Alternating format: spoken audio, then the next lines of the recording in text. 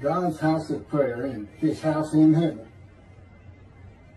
The northern kingdom of Samaria was inhabited by Gentiles imported by the Assyrians who had defeated the Israelites of the north before the Assyrians were defeated by the Babylonians. The Babylonians, who later defeated the southern kingdom of Judah and deported them to the lands of Assyria, Babylonia, eventually Persia, completed the total exile of the 13 tribes of Israel from the lands of Abraham.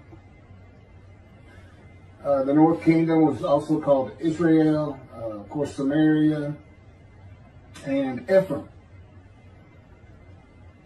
Then the king of Assyria marched against the whole land. He came to Samaria and besieged it for three years. In the ninth year of Hoshea, the king of Assyria captured Samaria. He deported the Israelites to Assyria and settled them in Halah, at the river Habor, at the river Gozan, and in the towns of Media. That's 2 Kings, chapter 17, verses 5 and 6. King of Assyria brought people from Babylon, Cuthah, Avva, Hamath, and Sepharvaim, and he settled them in the towns of Samaria in place of the Israelites. They took possession of Samaria and dwelt in its towns. That's 2 Kings 17, verse 24.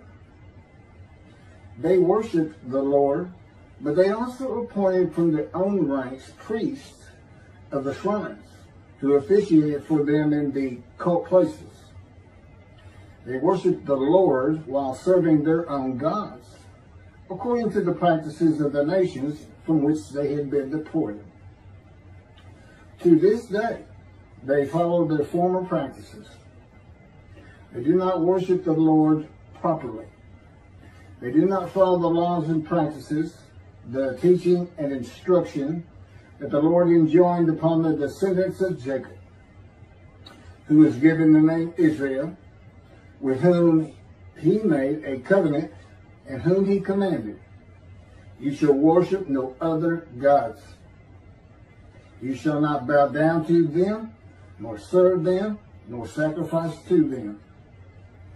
That's 2 Kings, chapter 17, verse 32 through 35. God said, As for the foreigners who attach themselves to the Lord to minister to him and to love the name of the Lord, to be his servants, all who keep the Sabbath and do not profane it, and who hold fast to my covenant. I will bring them to my sacred mount and let them rejoice in my house of prayer. Their burnt offerings and sacrifices shall be welcome on my altar, for my house shall be called a house of prayer for all peoples. That's Isaiah chapter 56, verses 6 through 7. In Judaism today, this would mean converting to Judaism applied to foreigners, including Christian Israelis and Muslim Israelis. If they want to enter the third temple, they must hold fast to God's covenant with the Jewish people. They must follow the laws and practices, the teaching and instruction that the Lord enjoined upon the descendants of Jacob, who was given the name Israel, with whom he made the covenant. A house of prayer for all peoples is a house of prayer for all Jewish people who are people from the nations of the earth. God knew they would be defeated, deported, and dispersed throughout the world. This was in part of God's plan when he formed Israel for the new heaven he was creating. He chose them and the land for them and had the Hebrew Bible in its entirety written at his command and direction through his anointed ones and his prophets. God is creating a new heaven of the spirits and souls of the Jewish people for the name of Israel to endure. Those who are righteous and in right standing with him will be placed in angelic bodies as a new host of the Lord of hosts. A host of angels representing the people of the world. Angels of Israel. And that's why it's a house of prayer for all peoples, all Jewish people. And you can't be worshiping false gods as those that have been imported in the northern kingdom. Elie Wiesel said in regard to God in the Holocaust, in the lost version of night, quote, this time we will not stand as the accused in court before the divine judge. This time we are the judges and he is the accused. We are ready. There are a huge number of documents in our indictment file. They are living documents that will shape the foundations of justice. Job was also ready to indict God. Job wanted God to explain to him why he, as a righteous man who followed the Lord's commandments, had so many bad things happening to him. I am sure that God is quite pleased with creation because he is perfect. And all things he creates are perfectly what he wanted for him. It is perfect for creating a heaven of angelic human spirit persons. A new heaven by the addition of a new host of angels, angels Israel. God decided to create a new host of angels, one where he does not create their personalities as with the angels of heaven, but angelic persons who were formed as persons by their own actions and self-will. Unlike angels, we are put through a battleground of choices with our own self-will that molds and shapes us as persons. Angels do not have self-will or a battleground of choices to make. Their persons are created and formed by God. God knew in the beginning that all men would suffer, the good and the bad. It is what makes our personality suitable for his purpose of creating a new host of angels. Quote, For behold, I am creating a new heaven and a new earth the former things shall not be remembered. They shall never come to mind. Be glad then and rejoice forever in what I am creating. For I shall create Jerusalem as a joy, and her people as a delight. And I will rejoice in Jerusalem and delight in her people. Never again shall be heard there the sounds of weeping and wailing. It's Isaiah chapter 65, verses 17 through 19. Quote, No more shall there be an infant or graybeard who does not live out his days. He who dies at a hundred years shall be reckoned a youth, and he who fails to reach a hundred shall be reckoned a curse. They shall build houses and dwell in them. They shall plant vineyards and enjoy their fruit. They shall not build for others to dwell in or plant for others to enjoy. For the days of my people shall be as long as the days of a tree. My chosen shall outlive the work of their hands. They shall not toil to no purpose. They shall not bear children for terror, but they shall be a people blessed by the Lord, and their offspring shall remain with them. That's Isaiah chapter 65, verses 20 to 23. And there's a reason I broke it up like that, because it could have all gone together. In verses 17 through 19, God is speaking of a spiritual heaven that he calls Jerusalem. Verses 20 through 23 are what heaven was believed to be like for the people of the ancient age and the Middle Ages. God's scripture, scripture is written for eras gone by and heirs to come. People of ancient times in the Middle Ages thought of the dead coming back to life and living long lives in a brutal, savage kind of humanity. Planting vineyards and enjoying the fruit and not having it taken by others. Dwelling in a home they had built and not toiling for others was the heaven they thought of. Not a spiritual heaven where you rise to God and live with Him to them, God was always angry and the cause of their troubles. I mean, if you think about it, with no medicine, no science, no knowledge, no schooling, no universities, when you had lost your loved one, the spouse would walk out to the graveside and just go, I wish you could come up out of there and come back to me. That's, that's as far as they could think of it. They, they weren't thinking, wish you got into the hospital, wish you had eaten better foods wish you hadn't drank so much. Sister said, was just, I wish you could come out of the ground and be with me. That's heaven to them. And today it's still prayed for by Orthodox as a fundamental principle of, of Judaism in the 13 principles of Rambam. Billions of people is what you're talking about appearing out of nowhere in the land of Israel. I don't know that you could fit them all in. For as the new heaven and the new earth which I shall make shall endure by my will, declares the Lord, so shall your seed and your name endure. Isaiah chapter 66, verse 22. God says he is creating a new heaven and a new earth. The new earth will be just as this is, earth is, when this earth is no more, when the final judgment of entry to heaven is made by the Creator who holds the souls of all men in his hand. The new heaven where the seed and name of Israel shall endure. And God will rejoice in Jerusalem and delight in her people while the new earth is being formed.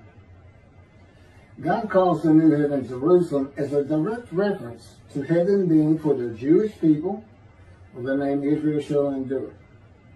Quote, I am sending an angel before you to guard you on the way and to bring you to the place that I have made ready. Pay heed to him and obey him. Do not defy him, for he will not pardon your offenses, since my name, Hashem, is in him. But if you obey him and do all that I say, I will be an enemy to your enemies and a foe to your foes. Genesis chapter 23, verses 20 through 22. In heaven, God is in you as my name is in the angel of his presence. That is what is meant when God says, before they pray, I will answer. While they are still speaking, I will respond. The information of our minds gathered by our eyes and ears is interpreted by our spirit and soul. Interpreted. It's not where your thoughts are. If that's true, there can be no heaven for any of us because our mind turns to dust. The spirit that God gives us, an element of the unseen realm of God, literally translates the little electrical signals and the chemicals and the, the, the tissue of the brain in different areas, different lobes which is the person that we are, our spirit and soul. Our spirit can read the electrical impulses, chemicals, and different tissues of various parts of the mind. In heaven, our spirit and soul no longer has a mind filled with information to interpret. Spirit is very complicated element of the unseen realm of God.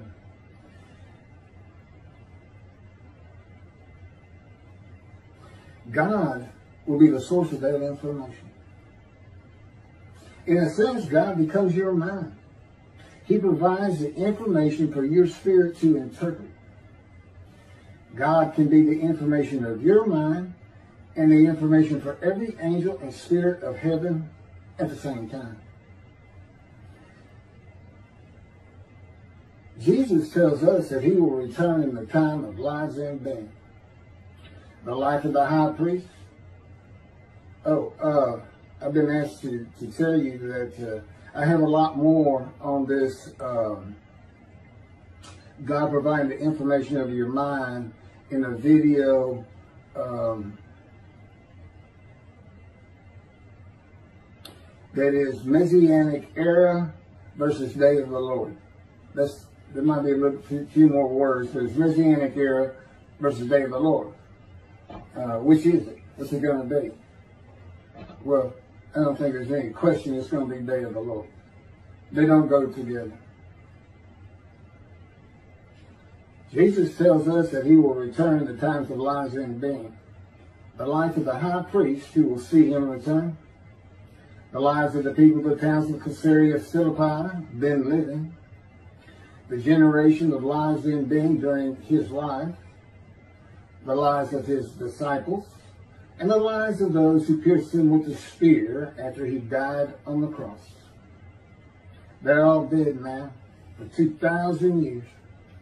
Jesus spoke five prophecies of his return with a specific time frame, lives in being, the measuring lines, and the prophecies all failed. The Apostle Paul said, For the Lord himself shall descend from heaven with a shout, with the voice of the archangel, and with the trump of God, and the dead in Christ shall rise first. Then we, which are alive and remain, shall be caught up together with them in the clouds to meet the Lord in the air, and so shall we ever be with the Lord. That, of course, is the rapture. And that just came from Paul. And that's in 1 Thessalonians chapter 4, 16 through 17 of the Holy Bible, King James Version. Jesus said he was coming back quickly. On the last page of the Holy Bible in the book of Revelation, Jesus says, Behold, I come quickly. Blessed is he that keepeth the sayings of the prophecy of this book. This went over side to side. I don't know how much faith you want to put in there. Revelation chapter 22, verse 7. And behold, I come quickly, and my reward is with me, to give every man according as his work shall be. Revelation chapter 22, verse 12. He which testified these things saith, Surely I come quickly. Amen. Even so, come, Lord Jesus. Revelation chapter 22, verse 20. There's three more prophecies that did not come true. Of course, he's already gone at this time, but he still doesn't come back. And he's talking from heaven through an angel to a writer called John, who may by all accounts, it's not John the disciple. Uh, although he tries to indicate it is him. Jesus has never returned. For almost 2,000 years, the dead in Christ and those alive during those years have waited to rise to heaven. His prophetic announcement did not happen. There are no Christians in heaven according to Christianity. I don't think any of them even know that. the time for a quick return has long passed. There is no reason or foundation to believe by faith or otherwise that he will ever return. Heaven is only for the Jewish people. If the Christians want to enter God's house of prayer on earth and his house in heaven, they will have to convert to Judaism. They will have to become Jews. Very observant Jews. Thank you. I hope you enjoyed that.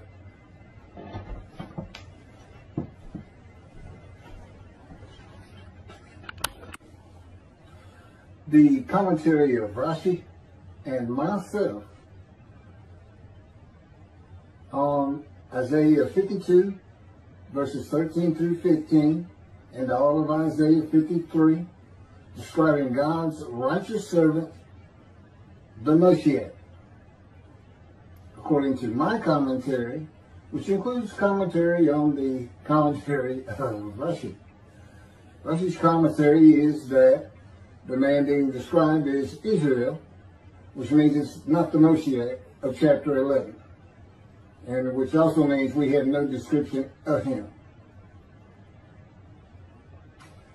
52.13 Behold, my servant shall prosper. He shall be exalted and lifted up, and he shall be very high. Rashi.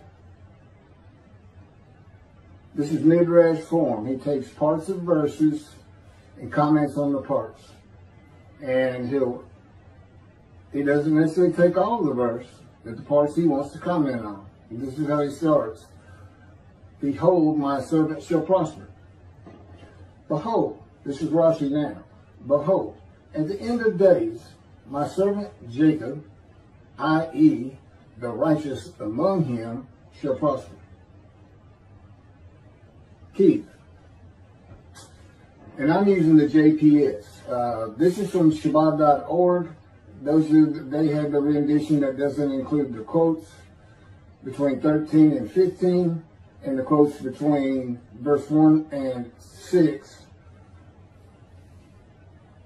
of uh, 53, the multiple quote verses. This is from the JPS. Indeed, my servant shall prosper, be exalted, and raised to great heights. My commentary on that is, my servant is now the Gentile, and not the exiles, who becomes my righteous servant, in Isaiah 53, 11, after passing the test of devotion in Isaiah 53, 10. when he makes himself an offering for guilt in a covenant with God.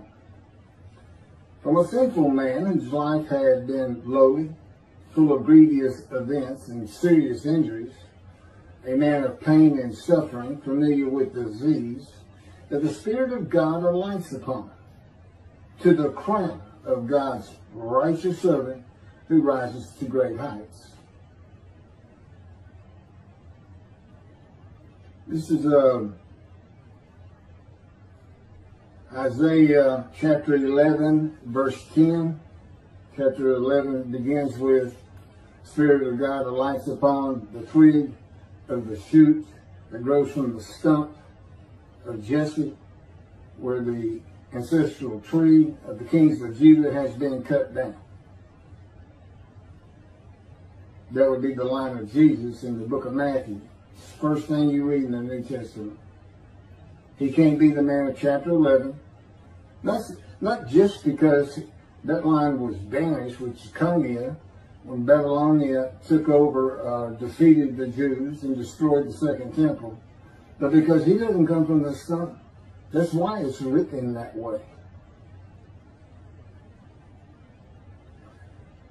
The stock of Jesse that has remained standing shall become a standard to peoples. Nations shall seek his counsel, and his abode shall be honored. Again, Isaiah 11:10. The abode of the righteous servant is humble when the Lord cuts him off from the land of the living, the world of material things in society. In Isaiah 53, verse 8, and in the end, the abode of the servant is one to be honored. In Isaiah chapter 11, verse 10 from a poor man to a rich man, with the many as his portion, and the multitude as his spoil, prosperous and held in high regard by many and a multitude of the Jewish people. Verse 14, as many wondered about you, how marred his appearance is from that of a man, and his features from that of people. Rashi. That's that's again from Chabad.org, and and the commentary comes from from them too. They have the commentary of Rashi on that. As many wondered, his answer, commentary. As many peoples wondered about them when they saw them in their humble state, and said to one another, How marred is his, Israel's, that's in brackets, appearance from that of a man. See how their features are darker than those of other people? So, as we see with our eyes.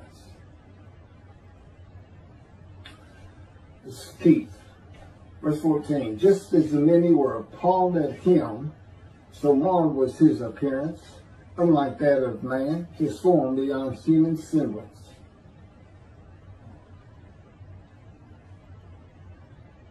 Commentary. So marred was his appearance, unlike that of man. Based on Isaiah 53, verse 10, and its primary purpose, this is the beginning of identifying the righteous servant as a man with disfigurement, blemish, with disease. He is not a man without defect, such as lambs, sin offerings, and rams for guilt offerings. In the Torah, that would be Leviticus. If I were to be seen with all of my injuries from accidents and surgical operations at one time, before healing, together with my con congenital disfigurement, my right shoulder and arm is withered, my appearance and features would be marred from that of a man and people, unlike that of normal men.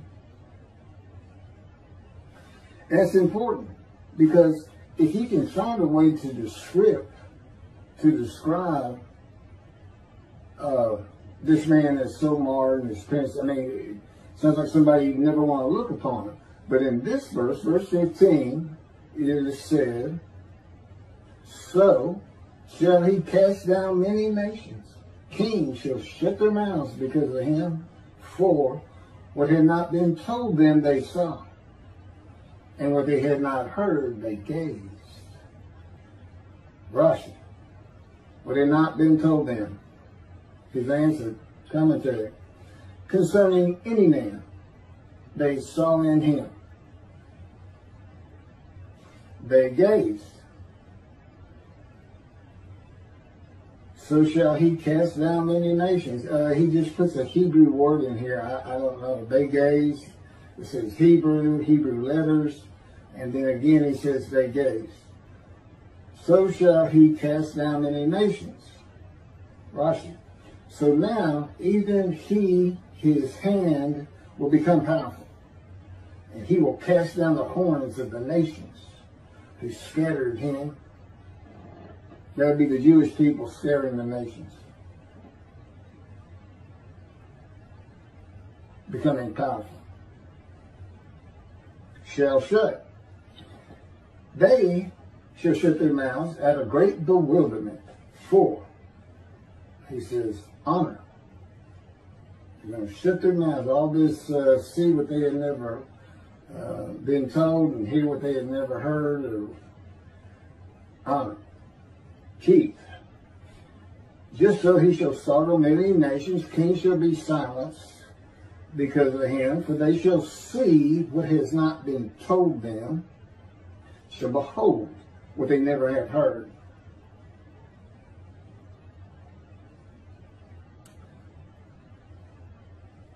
My answer to that, nations, the Gentiles, startled, and kings, leaders of nations, silence. By seeing God's righteous servant, God's servant David, Elijah, and the prophet like Moses as one name and hearing that God's righteous servant arise in the time to come of Jeremiah 31 in the day of the Lord. That God's righteous servant is the only man to come who is described in the scripture and is inherently and implicitly the anointed one David, Elijah, the prophet like Moses, of whom there is no description, for identification that the Jewish people throughout the world will be forgiven by God of all their iniquities and sins by God's written word in the day of the Lord. That would be the new part of the new covenant, the new inclusion from Jeremiah 31. That heaven is being created for only the Jewish people. Christians will be surprised at that as well, Muslims that God's righteous servant of Isaiah 53 is a Gentile, according to the scripture, that Jesus, being a Jew, cannot be God's righteous servant. That God's righteous servant is familiar with disease and crushed with disease, blemished, and could never be an offer for sacrifice. No man of Isaiah 53 can fit and offer sacrifice. That's why God blemishes him. That's why God chooses to crush him with disease. To make sure that just doesn't happen. Because he knew what the Gentiles were going to do with Leviticus. That the host of the Lord's host is a man in divine beings. The captain of the Lord's host is a Gentile host of the Lord's host and a harbinger of God's righteous servant. The God's righteous servant becomes a man in divine beings when God's Spirit, who is the angel of his presence, and he is a person, the angel of the Lord, the Holy Spirit alights upon him in Isaiah chapter 11, verses 1 through 2, that God would really redeem the Jewish people and in the same manner that he did in the Hebrew Bible with one man. At the time to come of Jeremiah 31 began when the state of Israel was created in 1948.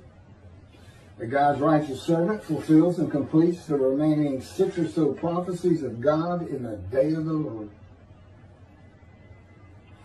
Okay, this is uh, Isaiah 53, verse 1, begins with quotes, and the quotes end after verse 6. The first speakers of Isaiah 53 are the witnesses of the righteous servant in the quoted multiple verses 1 through 6, the many who are made righteous by God's righteous servant.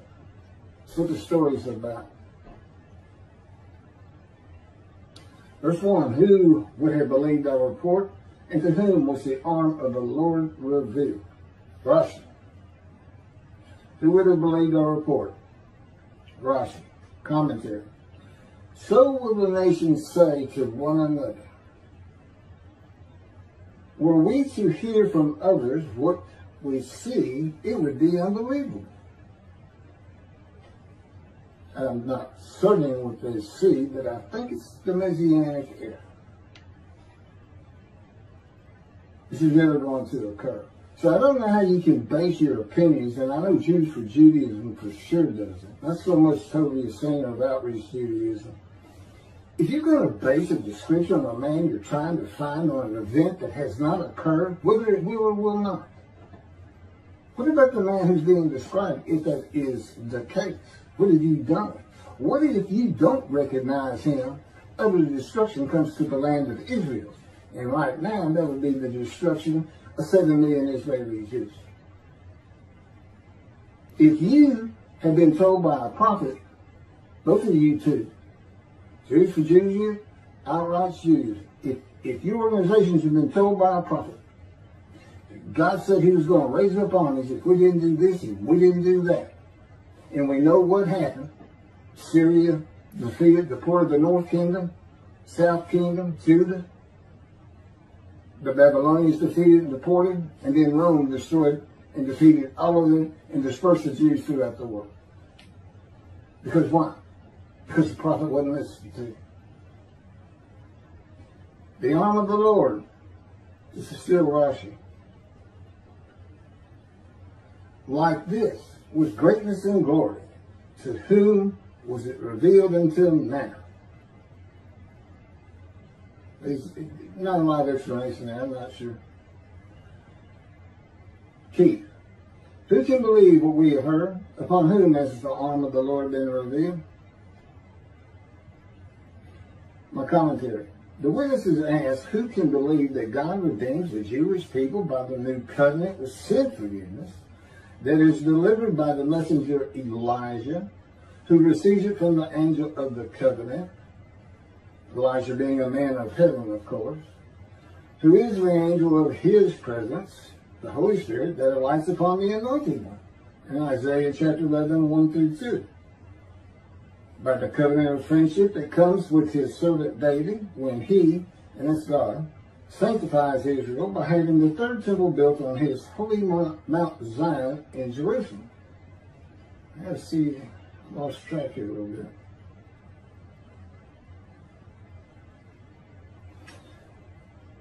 Oh, who can believe what we have heard? Okay, that's what all these binds.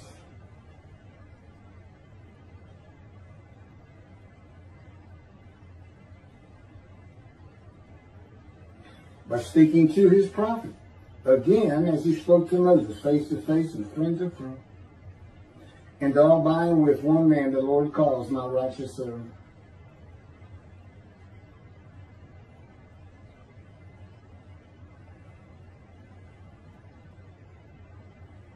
Chapter 12 of the laws concerning King Moshiach of Ramah. That Moshiach will compel all of Israel to walk in the way of the Torah, perfect the entire world, motivating all the nations to serve God together. There will be neither famine nor war, neither envy nor competition.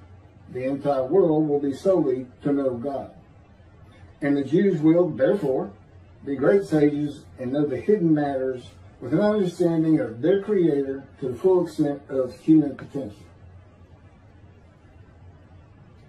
Yet God simply says, and this comes through the two covenants of friendship in the sentence uh, in Jeremiah 31, see a time is coming, Jerusalem is rebuilt.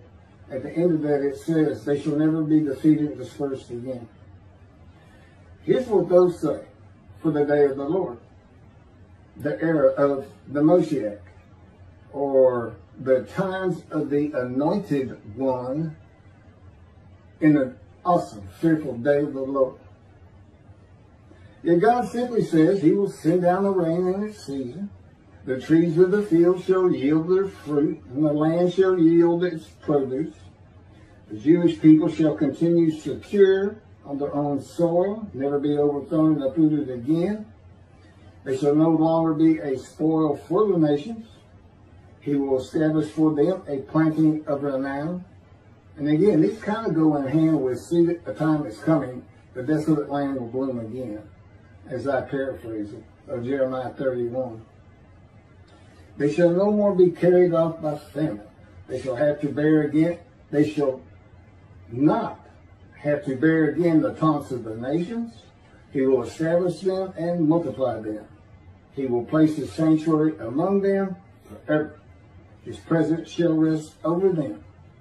And when his sanctuary abides among them forever, the nations will know that the Lord sanctifies Israel. Who would believe that one man fulfills and completes the remaining prophecies of God in the day of the Lord?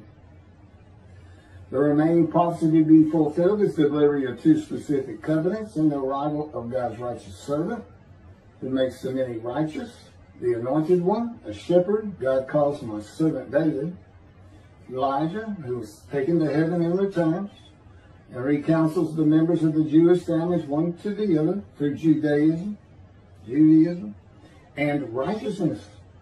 And the prophet like Moses, who wrote the Torah at the command and direction of God. The witnesses were poor and who would believe them that they had not been told by their wise men, sages, rabbis, theologians, that God's righteous servant of Isaiah 53 is a Gentile in the beginning. Isaiah 63 says God comes from Edom that is interpreted in Judaism to be Christianity. It means he is coming from a Christian country. Uh, in addition, Edom, uh, which is long since gone, is in the country of Jordan, east of the river Jordan. It's Gentile lands. He's coming from Gentile lands. And they're the people, the Jewish people, none are with him. He comes with a Gentile. Remember the captain of the Lord's host. Joshua asked him, Are you an Israelite or one of us? He says, No. I'm the captain of the Lord's host. Now I've come. And then we never see him again. It's just three short verses. What are they about? They're about a man and divine beings being a host of the Lord's host. He comes with a Gentile. Well, Jesus was a Jewish man who came from Nazareth. Can you see God working in this? the Jewish people.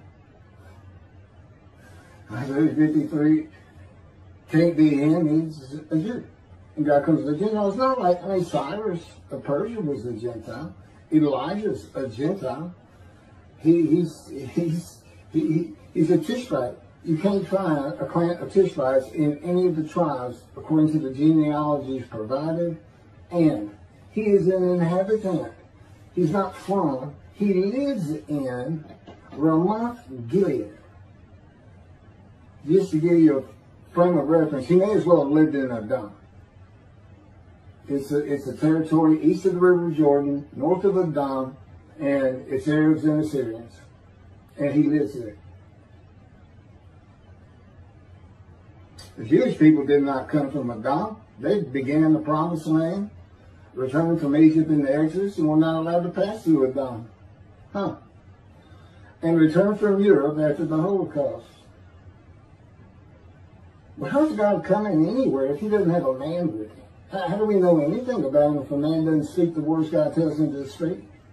Did you think there was going to be a day of the Lord and he wasn't going to have a Moses? He's got a new covenant to deliver. It has to do with the first covenant. Well, who delivered it? Moses.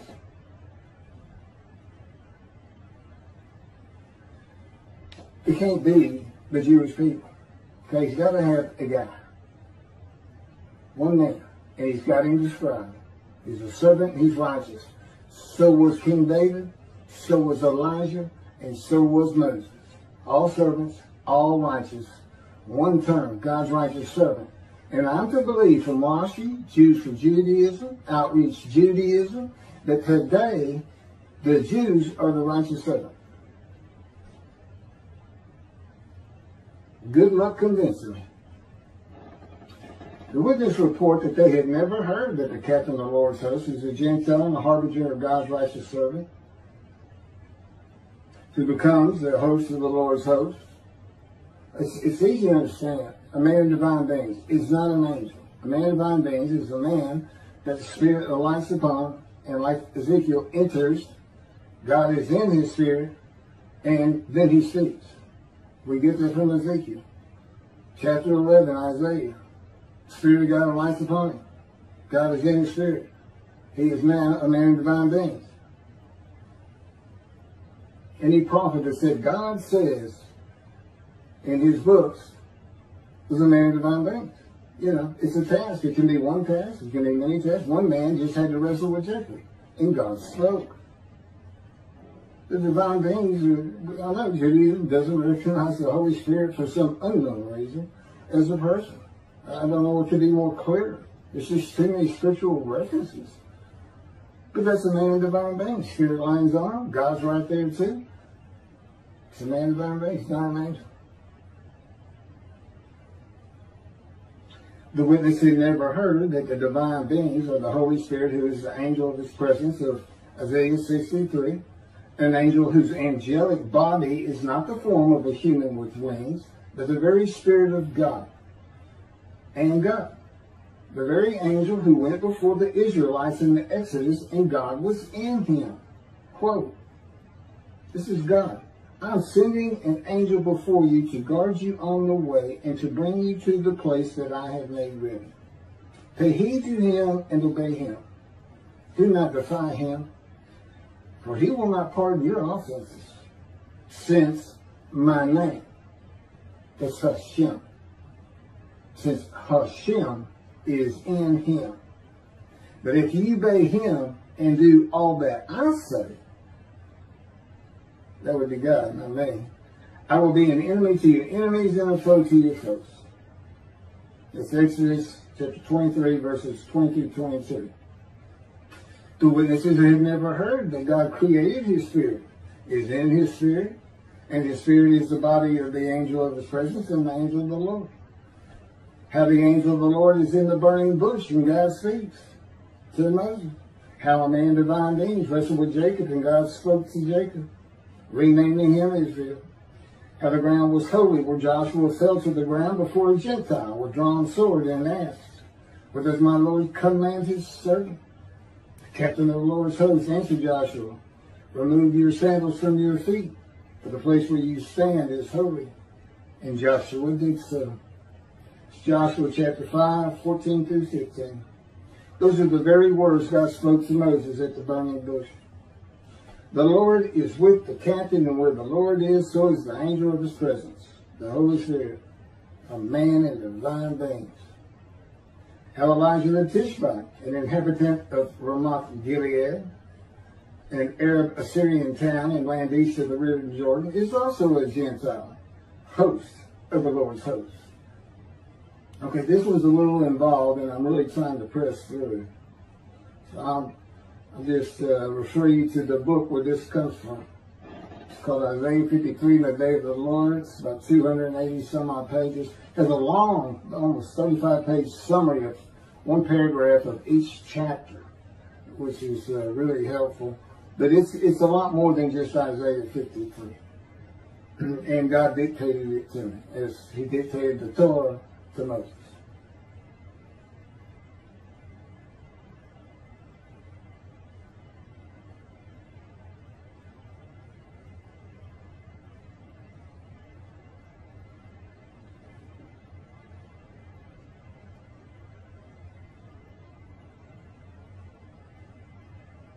How Ezekiel is the host of the Lord's host, a man in divine names. This is uh, Ezekiel, it's in quotes. I'll give you the chapter and verse in a second. And he said to me, O mortal, stand on your feet that I may speak to you. As he spoke to me, a spirit entered into me and set me upon my feet. And I heard what was being spoken to me. See, God, they show God saying those words, but Ezekiel can't hear them. So the Spirit is in him. And God is in his Spirit. He tells us, the angel, obey him. Because my name, I am in him. This is God speaking to Ezekiel, but Ezekiel does not hear God speaking until the same moment the Spirit enters him and sits him upon his feet. A Spirit of God entering a man and God speaking means the angel of God's presence, who is Spirit, alighted upon him and that God is in him. They could not believe how the Lord is symbolized in the story where he appeared and spoke to Abraham by the terebinths of Mamre as three men standing near him. The three men represent a host of the Lord's host. It's a man with divine things. It's three persons. In my case, it's the person of Keith McCarty. It's the person of God. And it's the person of the Holy Spirit. All right here. And it's not new. This is all throughout the biblical, the, the Hebrew Bible. It just wasn't revealed to you. That's why nobody can believe it. When they, the final prophet of God, said to be Muhammad of Islam. This is from Wikipedia. This the information I'm about to give you on uh, the, the, the, founder of Islam, Muhammad Mustafa. And then I had several comments to make on all of it. When Muhammad was 40 years old, he was commanded by God through his angel Gabriel to declare his oneness. And of course, God is one began with the Jewish people and the Hebrew Bible. To the idolaters of the whole world and to deliver the message of peace to the embattled humanity. In response to this command from heaven, Muhammad launched the momentous program called Islam, which was to change the destiny of mankind forever. He was in Hira when one day the archangel Gabriel appeared before him and brought to him the tidings that God had chosen him to be his last messenger to this world and had imposed upon him the duty of leading mankind out of the welter of sin and ignorance into the light of guidance, truth, and knowledge to be a light to the world. It should sound familiar to the Jewish people. According to the accounts of this Shia Muhammad,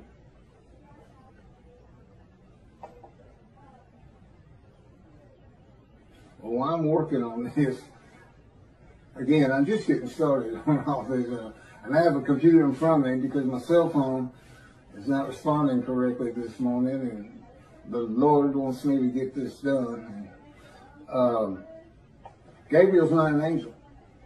Clearly, they plagiarized the Hebrew Bible and put into the, their own cultural laws and norms and, and what they consider morality. And uh, of course, Christianity is based around uh, a story. It's that a story they call it the greatest story ever told. I agree. It's a great story. Billions of people have been deceived into believing it. Now I can understand the people of antiquity believing it, but the people today believing it, uh, I, I, I really don't know what to say about that. I, I don't know. I don't know how you can believe God made a human sacrifice to you, and by His blood, by by by His stripes, we are healed. Again, God made me watch Christian channels, and and then there's this one fellow. I'll sell you the, the blessings of David. I said, where, God, what, what are the blessings of David? I'm thinking.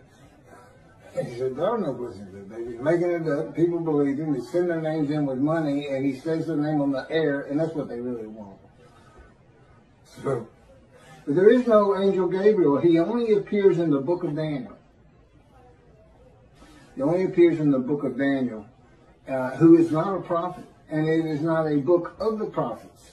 And he doesn't speak with God. That's what a prophet is.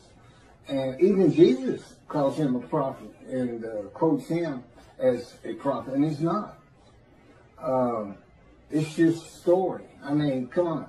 A bunch of, a bunch of men standing in a kiln that's burning hotter than the sun, it's just not gonna happen. I get, it's not gonna happen. But you read the same things, the, the, the leaders of Judaism read the same kind of absolute, that can't happen. But because they like it, and they say our sages believe that, we believe it.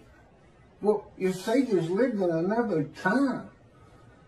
Michael Skobac, Jews for Judaism, who also claims Isaiah 53 is the Jewish people as one man, Israel as one man they had gathered, been crushed by disease, and offered themselves for guilt at some time in history that I'm unfamiliar with. Because he doesn't say it's something that's going to happen. They act as though it already happened. See, uh, Singer of Outreach Judaism believes it happened in World War II with the Holocaust. But that was just six million. That wasn't all the Jews of the world gathered as one man in Israel. They didn't get along life. They didn't see the children. They didn't teach righteousness. Neither did Hitler. He's the one that offered them as these ram sacrifices because he reads an offering of oneself for guilt to literally mean, these are his words, it literally means a guilt offering. Let's go to Leviticus. Now, he doesn't say let's go to Leviticus. He says it's guilt offering, but a guilt offering is an unblemished ram for theft or destruction of holy things, debts. Eh, What that has to do with anything, I don't know.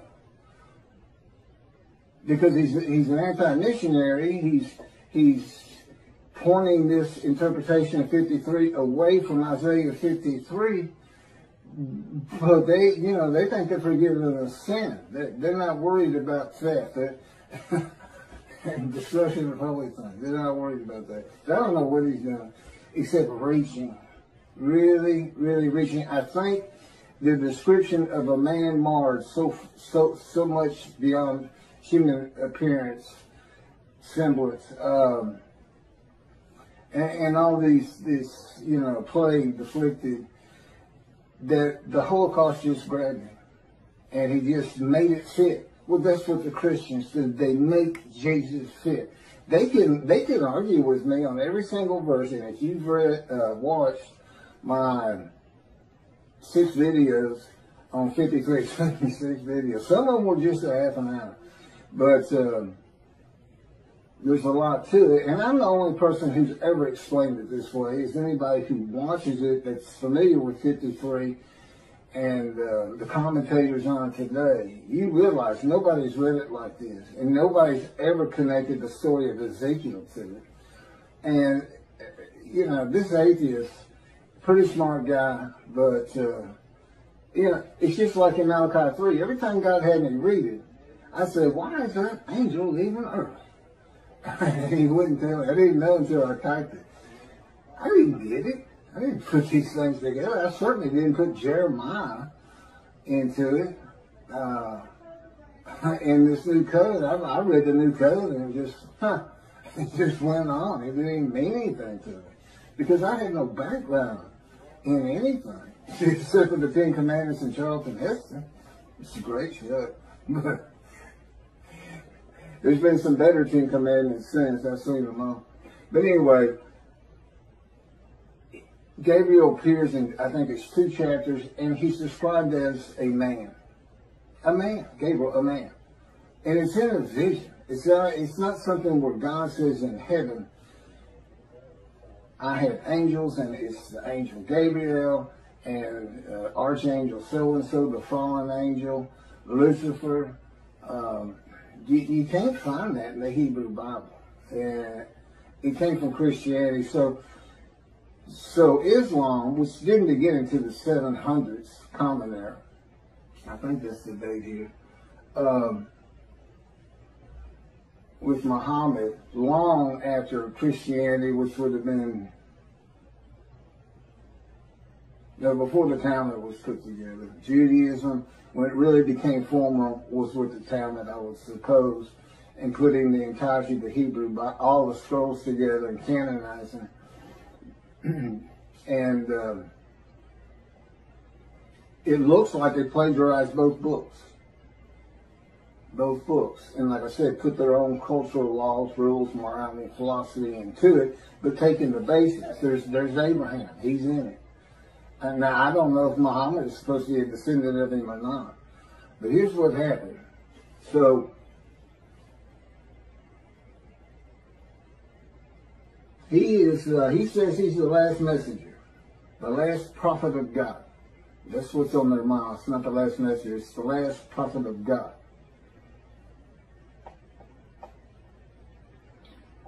According to the account of Shia Muslims, Muhammad Mustafa, far from being surprised or frightened by the appearance of Gabriel, welcomed him as if he had been expecting him. Gabriel brought the tidings that Allah had chosen him to be the last messenger to mankind and congratulated him on being selected to become the recipient of the greatest of all honors for a mortal in this world from Al Islam, the birth of Islam and the proclamation by Muhammad of his mission. That's in Wikipedia. Muslims believe that the Quran was orally revealed by God to the final prophet Muhammad through the Archangel Gabriel incrementally over a period of some 23 years, beginning in 609 Common Era, when Muhammad was 40 years old. That's an oral tradition. That sounds familiar. That's what the Talmud is. It's the oral tradition written. So it wouldn't be so it wouldn't be forgotten.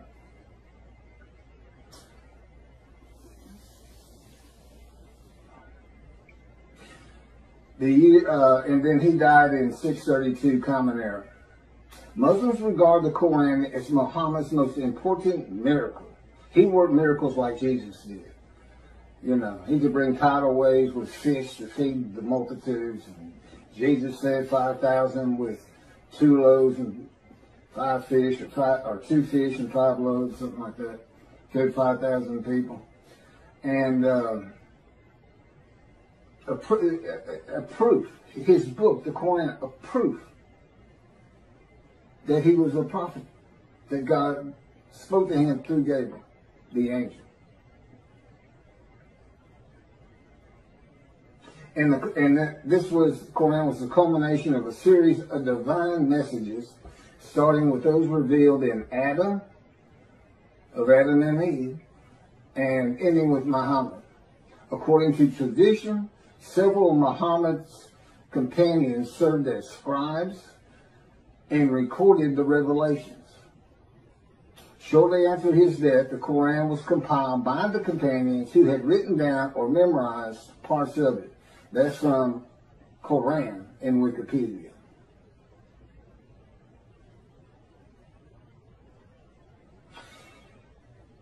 God chose his last messenger. And Allah means God, by the way. It's just not the God of the Hebrew Bible and the God of the Jews. God chose the, uh, the last prophet, the last messenger, long before the time of Muhammad, when Malachi wrote Malachi. The messenger is Elijah for a time to come. And the time still had not come. The land did lay desolate, but they had not returned. It did not bloom again until 1948. And even then, it was a desolation. It took many years to get it going and uh, re- renew all the old cities like Jaffa and Haifa and Tel Aviv. and, uh, of course, rebuild Jerusalem. You know, it's a metropolitan, metropolitan area now. Elijah, which of course is me. Now, how do you think Islam's going to react to me? We already know how the Christians are going to react. Not too favorably. Not too favorably. So this, you know, David is here because I'm David. David is here. I am the Moshe. I am anointed. Which means the man of Isaiah 53 is anointed. And the anointment is the alighting of God's Spirit on me. That's how I know I'm the man of chapter 11, verses 1 and 2. Because there is no question that the Spirit and God are within me. And that's how I know this whole concept of God is in His Spirit. And I can point to Scripture that says just that. And explains things where it doesn't say it. Now they believe, they believe Muhammad to be a prophet because of his book. I've got two books that are dictated to me with all this information. This is this is chapter 49 of Isaiah uh, 53 in the day of the Lord. See, it's not just about Isaiah 53. Now, the last chapter is the day of the Lord, and I'm going to do that probably on a separate video. I may make this uh, another two half-hour recordings. All my camera will take. So, God's righteous servant, me. I am the final prophet, not Muhammad, and as the final prophet, and with the God of the Jews, being the being the uh, Abraham uh, and Judaism being the Abrahamic uh, religion that is correct. There's three.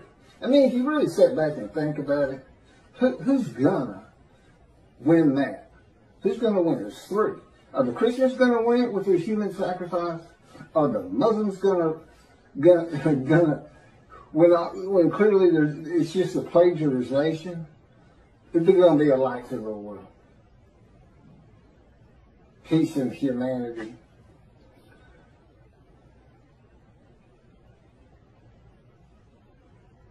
And they got there by stealing somebody else's book. They took the book of the children of God also. The Christians attached it. They should attach it to the Koran. You know, I mean, that's a plus in their favor, I suppose. I'm going to go ahead and start into chapter 50. They, I, I didn't know all that. I didn't know that they were using an angel that doesn't exist. And he doesn't. I've been in, to had an envision and told and in no uncertain terms, of, there's no such angels. There's no Michael. There's no Lucifer. There's no fallen angel. It's just part of a story because that's what the people in antiquity and, and today too, to an extent, I just like to believe in that. The Christians got so much jumbled up in their minds. So much of the religion conflicts and doesn't make sense. And they've got entire armies of demonic forces that are at war with God, this and that. I promise you. I know his power like the back of my hand. And uh, he, there's no contending with him. Whatever he thinks he is. Just wills it. Gone. You know. he can take this world and turn it into a pea. The size of a pea just by thinking it. He set off the Big Bang. That's how Genesis starts out. He divides uh, light from dark and this and that. Yeah. We're, we're the dark. and the division is the platform of heaven. And we're, we know we're in the dark because he had to put suns in there for us. So it's kind of a blend. You have to look. The first, the, the universe, his universe, the unseen realm, and then, and then the real. The real, the universe of real, which is like, you know, sol, uh, objects, solid things, stuff you can see, came with the Big Bang. And, uh, it's all within his original unseen realm. So it, we're, we're a universe in a universe. It's not parallel universes, just one inside of another. Totally different from each other. Science, totally different. We can never see the unseen realm except what he would place in our minds. I mean, he can place an angel Gabriel in my mind if he wanted to and have me believe it, and I would. But he doesn't. He's, very real and matter of fact. Um, and, and, and the fact that this at this time, people are still believing the things of the people of antiquity who didn't know anything. They didn't know anything, and they had and they couldn't back. They couldn't go there and say, "Well, I don't check that out. I don't know about that." you know, they couldn't. There's no bookstores, no schools, no teachers. About all you could learn from the wise man was the Hebrew Bible for the Jews, and they spent their life in that book. Well, I had it. I read it for the started reading when I was 50. And it's only because God was teaching me that, that I had the knowledge that I do have.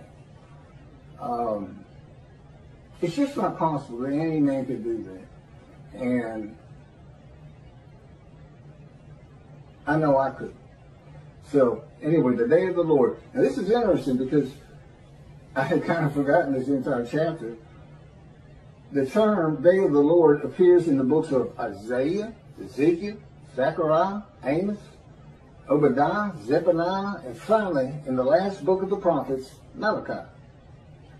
In Ezekiel and Zechariah, the day of the Lord is said to be only against the nations, and in Obadiah against Edom and Esau, Christianity, and the nations. If you see Edom and Esau, it's Christianity. That's that's just Judaism. If you're gonna take their book, take all of it. Take the old tradition with it, Christians. They're, they go together. The prophets warn that the day of the Lord is near. But it is not the end of the world. Now this is true of the Essenes too. The, uh, the sect of, uh, of Jews who wrote the Dead Sea Scrolls. But, and, and with the same concept, evil's going to be gone, but the good stays. Uh, um, the destiny of the world will be, will be changed. God returns to the earth to dwell among his people in his sanctuary, which he's doing, on his holy mount, Zion in Jerusalem, and the world will know that he sanctifies Israel. Lo, the day of the Lord is coming with pitiless fury and wrath, to make the earth a desolation, to wipe out the sinners upon it. Isaiah 13 and 9. You say, well, see, that's not, you, you haven't been talking about that day of the Lord. Yes, I have. God's final word on it. Because that's not going to happen. That, that, that, again, that's just fun to read. It scares people, man. Whoa, you know, war's coming kind of a thing. For a day is near, a day of the Lord is near. It will be a day of cloud, an hour of invading nations. A sword shall pierce Egypt, and Nubia shall be seized with trembling. When men fall slain in Egypt, and her wealth is seized, and her foundations are overthrown, Nubia, Put, and Lud. These are these are names for the ter for territories that are pre-biblical for the most. They're pre-Abraham. The Hebrew. And all the mixed populations and Cub and the inhabitants of the allied countries shall fall by the sword with them. Ezekiel. Ezekiel has an account of all the tribes returning to the promised land and they go all go individually back to the lots of their ancestor. their ancestry. Do you know how many? It is impossible to determine that. Granddad says I can do it. I can tell him no, I can't. He says I do it by a spirit and has no concept whatsoever that God is in his spirit. That the spirit that alights upon me is one of being able to determine your ancestry all the way back to the to the partitioning of the promised land and to the tribe you should belong to that you have the most blood of. Sounds great, Ezekiel. I'm sure people love it, but uh, not gonna happen. Not gonna happen today. That's for sure. yeah, David's here. The peace in the world. I'm here. You, it's a, it's just about undeniable. This is like a hundred times more proof than Moses had. You know, it, nobody even knew he was writing the first the Torah. Nobody, I'm sure nobody knew. And if they did know, they didn't care. And the fact that God was telling them, they may have believed, they may not have. Any of them would, would, would asking God, how do we know you're talking to God? Today he say, well, read this. It's called Leviticus. You think I woke up and wrote God's laws without him telling me what to do? Because I thought that's what he was telling. That's the Christian. I'm getting the word. I'm getting the word from the word. For some reason, they call Jesus the word before he came into body. so they get a word from the word. I, I, the word I think means God. I'm not. I'm not sure. But every one who invokes the name of the Lord shall escape.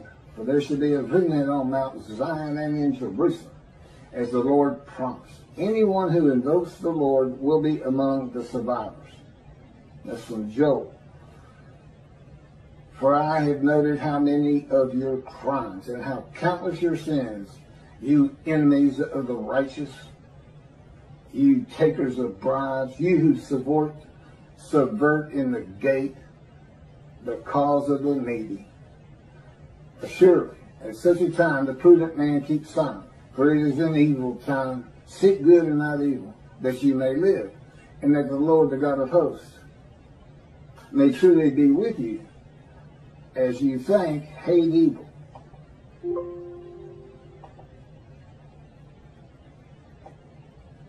So here's some morality in a great story. Day the Lord. And love good. And establish justice in the gate. Again, the Essenes had gates people like to hang out at them, as you can imagine, and tell stories.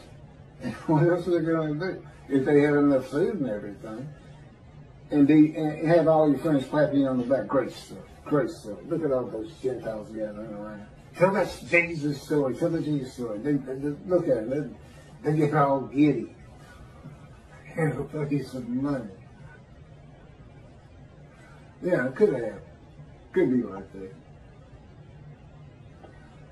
And uh, I got a real long, going to skip this one from Zechariah, but, but finishing up with Zephaniah on this uh, uh, coming of the end of evil. And I will bring distress upon them, that they should walk like blind men, because they have been sinned against the Lord. And their blood should be poured out as dust, and their flesh as the dung. Come on. Okay, you let me read a little bit of this one. This is from Zechariah. Now, see, this is like watching a zombie movie. This is like watching a heart show. And we are, you know, most people love to see those every so often, especially as uh, when you're young. As for those people that warred against Jerusalem, the Lord will smite them with this plague. Their flesh shall rot away while they stand on their feet. Their eyes shall rot in their sights. And their tongues shall rot away in their mouths. In that day a great panic from the Lord shall fall upon them, and everyone shall snatch at the hand of another, and everyone raise his hand against everyone else. Judah shall join the fighting in Jerusalem. The same plague shall strike the horses, the mules, the camels, and the asses. The plague shall affect all the animals in those camps. And on and on. Malachi 3 brings a new concept to the day of the Lord. Why is that? because it's not going to be in antiquity in Jesus' time. It's not going to be in the Middle Ages. It's going to be in the age of the internet, knowledge, science, medicine, common sense, oh, that's right, reasoning. I mean, the light's in there. But it's still fun to read. That's the thing, he was writing for antiquity because this is kind of stuff they, they not only, they would believe these stories. And, and, uh, today, we don't believe them. We just think, wow, that's fun to read. So God was writing it for different eras. He, he wrote for antiquity in the Middle Ages. And then we had the Age of Enlightenment kicking off in about 1600. Computers in 1960 to today. Age of the Internet.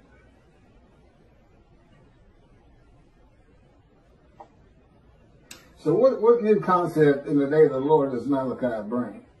It's God's final word on the day that he's preparing where the new covenant is delivered. And again, he knew they were going to be, be dispersed, and apparently he had a pretty good idea when they would be coming back. Okay, it's the final word of God.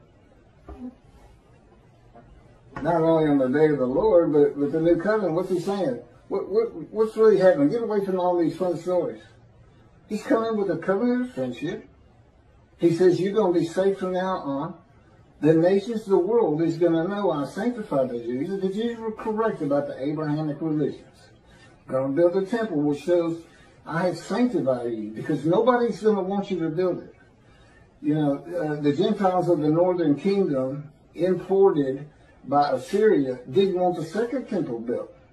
They, they, they obstructed the building of it and tried to stop it completely with letters to Cyrus or to whoever was leading Persia that, uh, at the time they sent the letters. Um, and he says, uh, new covenant, everybody's going to be sin free, holy saved, holy seed. And since he did the same thing with the uh, exiles, he never says, I'm making you a holy seed to build the temple. He never does say that. But that is what happened. And it's going to happen again. He's going to have that temple built, I don't know, 10, 20 years from now. I, I don't know. Presumably before I die, but now David, he died before before the building of the first temple. Although he had a lot to do with gathering all the materials for it and the wealth that went into it and and Solomon had a had a home to be honored. There's always a lot of things happening again that are real. As a matter of fact, it took longer to build Solomon's house than the temple. So he must have had a pretty honorable abode, right? that and God talked to him. Um, now, God doesn't address the nations. As I started out these different days of the Lord's in the various books, some are just pointing at Christianity. Some is the nations. Uh, you know, they're kind of different. But Malachi 3 is real clear. It's the Jewish people, the people of the land of Israel, as much as anything. Um, that's the focus. When I come back, you know, the sanctuary to be placed amongst his people in Jerusalem. Although the covenant, uh, the friendship covenant does not say in Jerusalem. I think that's pretty much implied. Although as David, see David purchased the temple not for God after he had failed the test that God put into it. It's kind of a uh, making up for it. I, I, I've also the slang. And uh, I could go back. There's people who have raised millions of dollars to the building of the third temple out there right now. Just on the belief it will happen. God will come. They just don't know how because of the false teachings. Teaching of antiquity. The teaching teachings for people of antiquity. Well, the people today aren't of antiquity.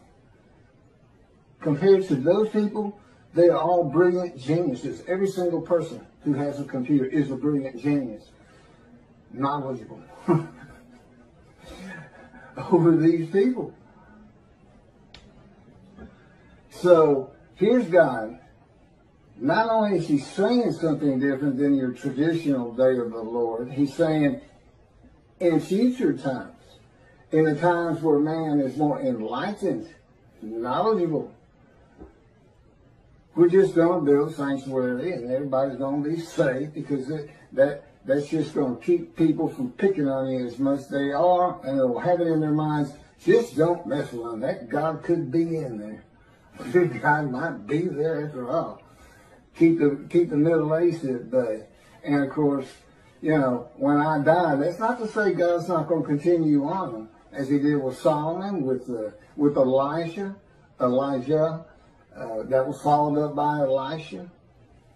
Uh, the Davidic dynasty was supposed to continue the line of David, but I don't believe there's anything that, well, his covenant does. Well, my son's a great guy, and I says, you really want, would you want me to put him through that? What you've been through? And I thought of, I said, yeah, that'd be good for him. I mean, I really wouldn't wish, I wouldn't wish that pain on anybody. But it changes to so much for the good. And you know, you can't really feel another person's pain. I know that pain. I still live in it. You can't imagine what happened to me just two months ago. No, I can't. I'm not allowed to tell you, and I wouldn't tell you. But um, it was brutal. I, I, it, it, went. To, it went from. I had my top five things that he's done to me, and it moved up to. It, it went by everybody to number one. It made number one. I hope that's the culmination of those events. So anyway, lasted about three months. So back to the, uh, back to this. So it doesn't address the, the nations, but only Israel and its people, which is all Jews of the world. Everybody in the world is forgiven. Doesn't mean you go to heaven. Got to be in right standing. Um, and hopefully this is going to be, you know, all the Jews aren't coming back to, to the promising to Israel. But I think my presence, and particularly if you build the temple, and then consider this. The nation, if you think the Christians are friendly to you today, you're not going to be saying that two to three years from now. Not when you can put in their face. We told you we were right. Because that's what they're always telling you. You, you don't even know how to read your own Bible. That's Jesus. That's 53 Jesus. And you got all the arguments that I'm putting before you. By the way, this Isaiah 53 and the day of the Lord, every single one of the 50 chapters is summarized in a paragraph. A few of them two paragraphs. As an addendum. If nothing else, you stop it, it's like six pages. I don't know how many pages, it might be more than that. Um, okay, it might be a lot more than that. But anyway, um, yeah, if you're in a bookstore, just flip to the back, read the addendum, and just see all the different things that are addressed that, that really are Isaiah 53. The first 20 chapters are kind of like you need to have this knowledge. You need to know about angels and God in his angel. And uh, a lot of I've kind of broached, but moving on. God says, of course, you've heard this, Behold, I'm sending my messengers to clear the way before me, to build the temple, and the Lord whom you seek shall come to his temple suddenly. The messenger is Elijah in verse 23. As for the angel of the covenant that you desire, he's already coming. I've talked about that. The angel of his presence brings the new covenant, Jeremiah 31 all Jews are forgiven their sins and iniquities. And it's going to be when I get my books published. That's when it becomes official from God's line. And even then, it has to be people who, who find out about it. Once you find out, whether you believe it or not, but when you start hearing you're free, that's when you need to avoid the evil inclination and really, really stress your Judaism and learning your Torah, which is the effect God expects Torah on your hearts. And he, God, revere and esteem his name. Because you don't want to miss what he's preparing. Uh, you don't want to miss it. You don't want to miss watching the evolution of the Jewish people from Abraham. He's going to pick, you know, guy's name will probably be, you know, Poindexter or something. Who knows? He's, he's so funny. But uh, I'm sure, okay, it'll be serious, God says. He says, we cut, I let Keith cut up a lot. He's a human being. It's, it's good for him. And I, I play along some. He'll tell you, it's, it's, it's not nearly enough. Or, or it's too long. It's not long enough. God recognizes that the forgiveness and equities and sins of Jewish people will not cause all to hate him. And in Malachi, he says I know there are those that don't, those that do, I'm putting in a scroll of remembrance.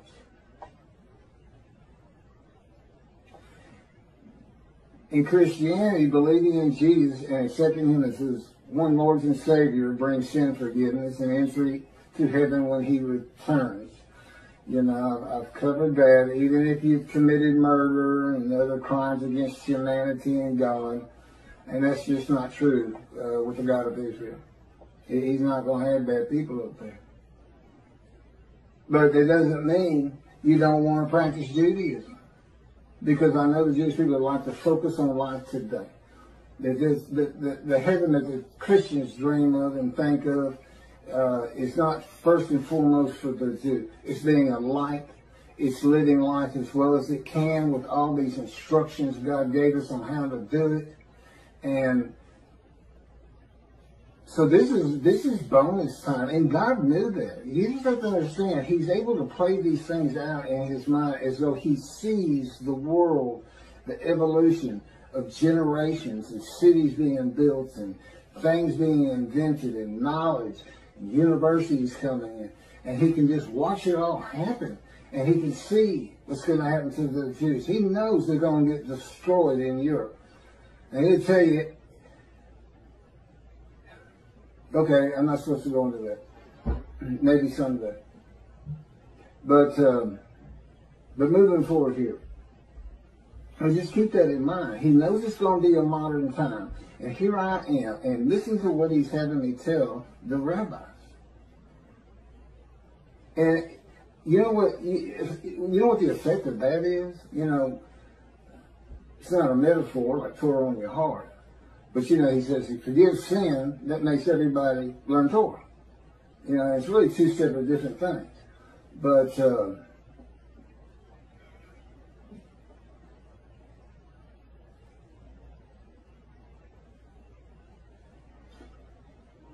So anyway, God knew in modern times that secularism and reliance on science, medicine, and technology that his righteous servant might not be recognized.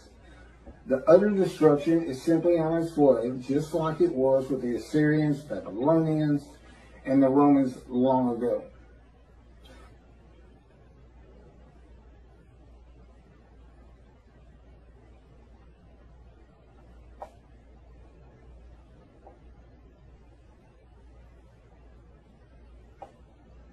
There's no mention in Malachi 3 of the destruction of the nations, as it is in, in some of the uh, the books and chapters and verses that I was that I just read at the beginning of this video, uh, or at least on the day of the Lord. It, it is implied there will be in this destruction in the land of Israel, because God says, if He doesn't do it, when I come, it will be with utter destruction as though there's going to be some, and there would be to take the temple now. It have to be something like the Six Day War. I don't think I don't think Israel would ever just storm it and say, well, that's it. We're just tired of it. Try to go. And unless there's some heinous act done, like a, like a nuclear suitcase bomb, where they finally say, that's it. Only Jews in this land. And we don't care what it takes. That's what they did to us. They just threw us out. Took everything we owned, took our bank accounts, took our houses, took everything, just said go. We had to walk to the promised land.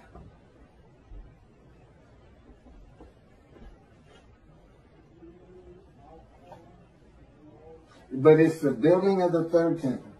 Now, oh, I, I don't know that. it's the building of the third temple. That's, that, that's what's so important. Defeating the enemies of the nations that come against Israel and the sanctification of Israel, the land and people blessed by God with his presence in his sanctuary is how utter destruction is avoided in the awesome, fearful day of the Lord. So it's the exact opposite. He's not coming to destroy evil. He's coming to safeguard the Jewish people so we don't see a Holocaust again. He's basically that's what he's telling you. If the land were destroyed today by nuclear bombs from Iran, 10,000 missiles launched at the same time from Lebanon, and care, you know, the sling of David, the protective system to bring down rockets is never going to be able to stop that. And you got 7 million Jews there. And we lost 6 million in the Holocaust.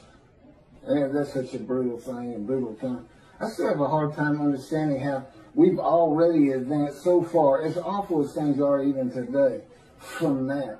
Well, people could, you know, the Nazis, they, they, they singled out children. That was their favorite kill.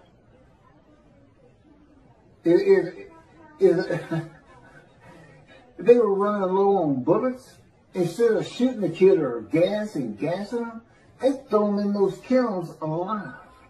So, you know,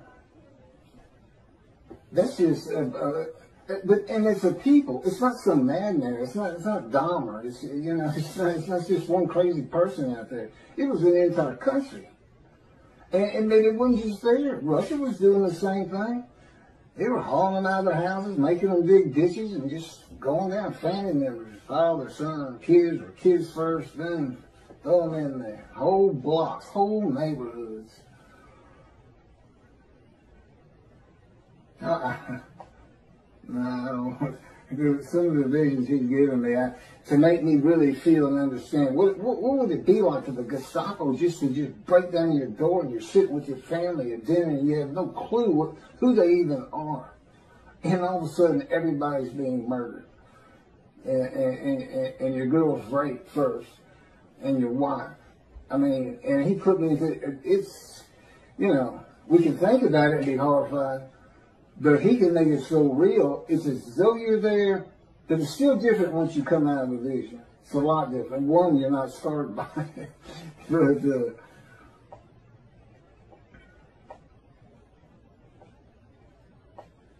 I have a lot, a lot of things I'm just, that's just about it for the day of the Lord that I have. You know, this, this man in divine being, host of the Lord's host, you know, it's one God.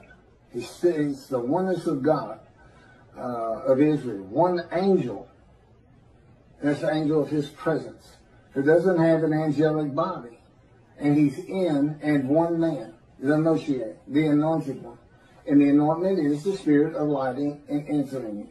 That's the anointment. There's, there's no oil as in our world of, of the, I call it the real, and God's uh, world, the unseen realm, which is the universe inside the universe. And he's responsible for this you know, uh, he made a division of a heavenly bright white lights, can't even see in it.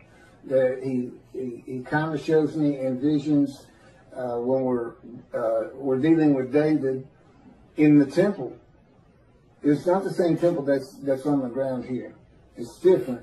But still the temple, still got the walls. There's a lot of similarities, but. Um, in one vast room, it's that bright white light and in the other is the king's throne and water coming out, flowing down the steps out front. And uh, so here he is in a future time. See, the time is coming in the future. In the year, he didn't say in the year 2020 or, or anything like that. But but again, he knew. He knew exactly what was going to do. He knew to come to me in 1957 or select me when when the first satellite was launched into the air by Russia, Sputnik. And he said that's when he touched my arm and deceived me. He really won't. You know, you say, well, how, how can you not not trust him or not believe him or this or that? Because I'm in the fire refinement. Lying to me is just part of it. And he finds it so humorous. to make me think I'm coming out of this thing. And I thought it, I thought it 11 years ago, I thought we were done with all the pain and shenanigans and adventures with, uh, with, with Christianity. So Christianity knows you're here. I said, who's you? You. You, you're the man Jesus claimed to be. Isn't that funny? Jesus, Jesus says in the New Testament to, to his people, to his 12 at least, do not listen to those who come in my name. It's kind of funny because if he comes, said, I'm Jesus, we're not supposed to listen to him. But uh, the fact is, he came in my name. He came as the teacher of righteousness. He came as the man of Isaiah 53. He came in my name, and that's given me all kinds of trouble to get this thing going, to do what I have to do for God, to keep utter destruction from Israel, to save the Jewish people. I've got these Christians who believe in human sacrifice. I got these rabbis who believe a man of a hundred years is suddenly going to be thought a child, and every single human being, every Chinese, every Korean, every Eskimo, every one of them suddenly are going to go, huh, the Jews have been right all along. We need to exalt them. Let's take our stuff and give it to them and till their land for them.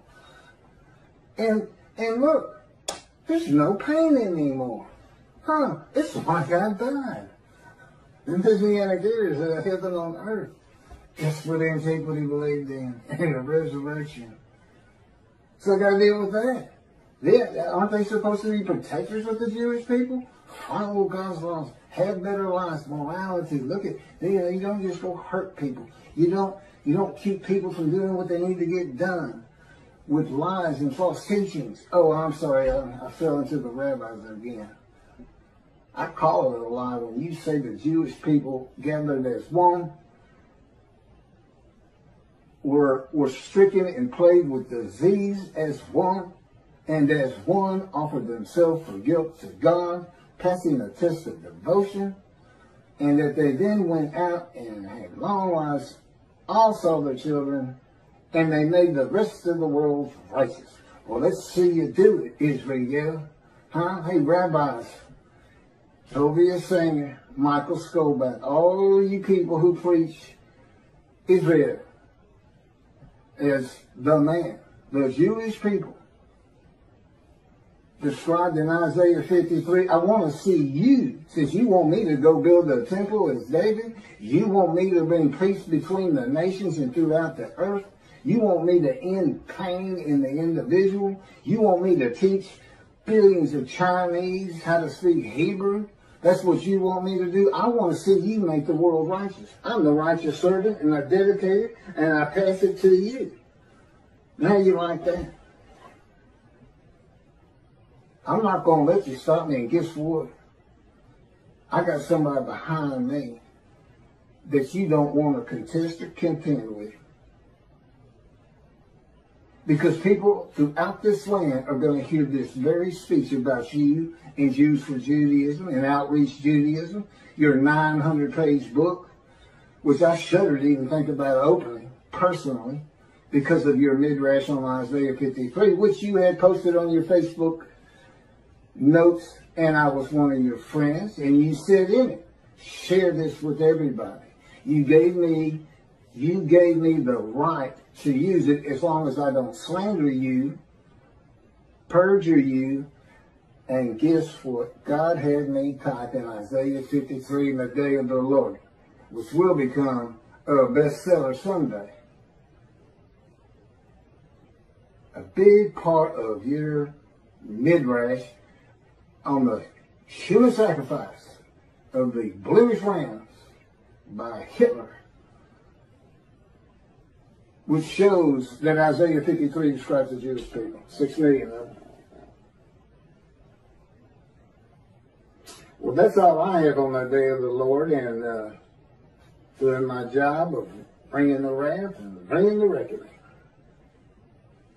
I'm the righteous servant of David. I'm Elijah, the prophet like Moses. And soon to be published, a song, a new song God had me write.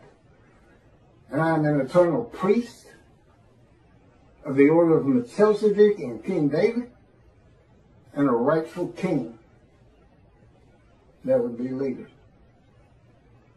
It's the same song David used. It's scripture.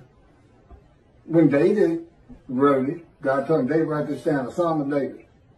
My Lord said to his Lord, And there we go again with Christians. They say that if it's the Lord and he's talking to the Lord, that's God of the Trinity talking to Jesus. What's the problem? One, one of them's capitalized and one's not. What was the other big, big, big reason? Well, just read it. It's a song about him. It's written by somebody who works for King David, a, a servant, uh, uh, something in the kingdom. He's writing of him when you read it because he would be Lord to this man. He's a lowly servant. Yes, Lord. You know, he's a king. That's what you say. It's not Jesus. It's not meant to be Jesus. It's not a, what do they call it? Epiphany of Jesus? I don't know what it is. God wrote stories that have meaning that's, that's just not right there until you know the story of Jesus. I got in with this since I apparently still got a little camera time.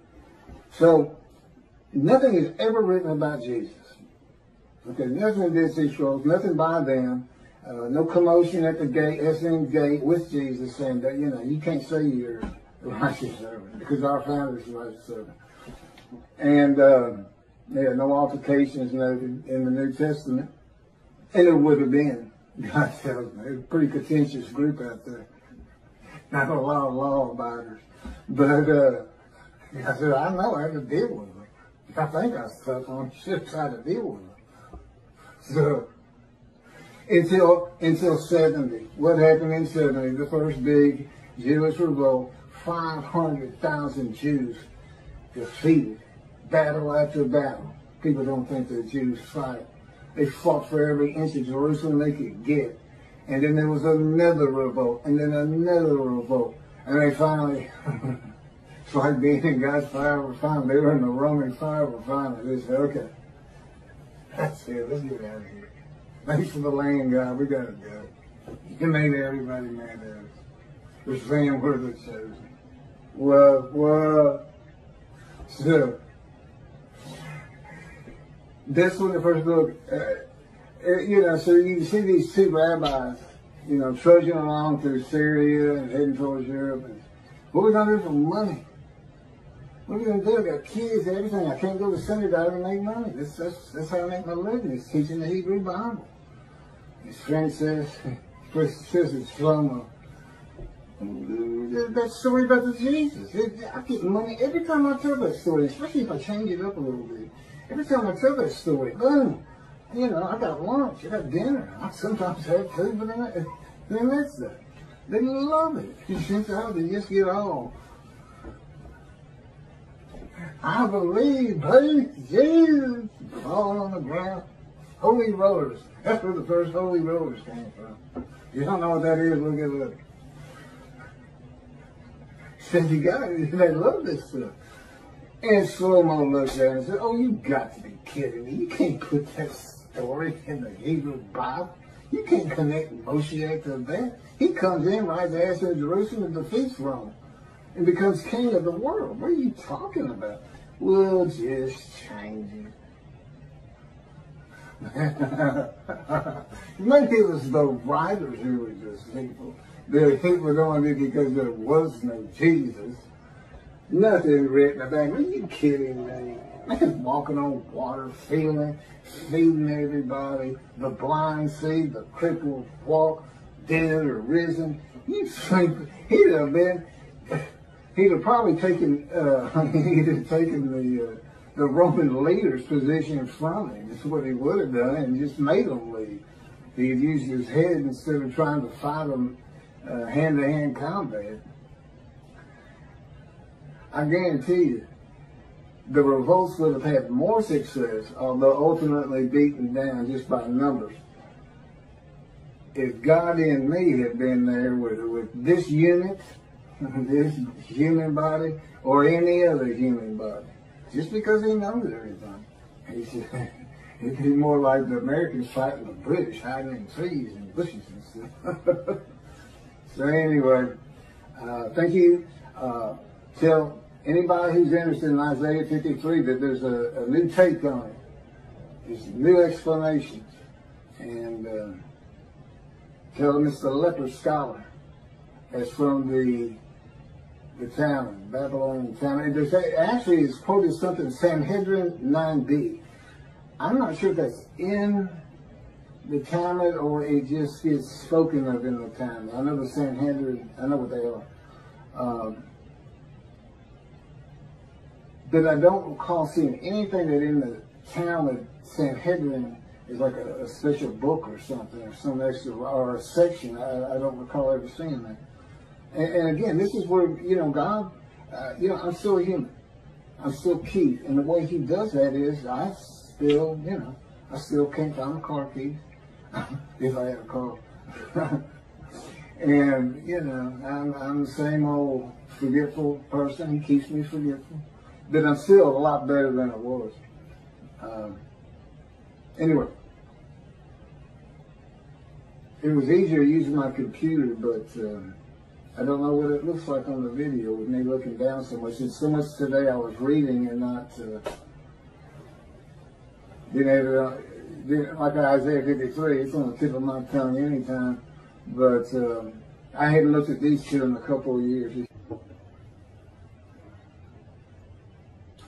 A day of the Lord.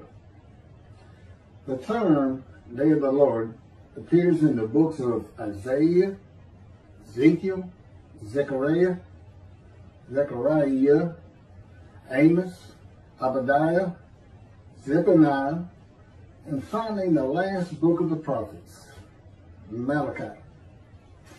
In Ezekiel and Zechariah, the day of the Lord is said to be only against the nations. And in Obadiah against Edom and Esau. Christianity and the nations. Basically, they're saying the Gentiles in general, uh, and in particular, the Christians.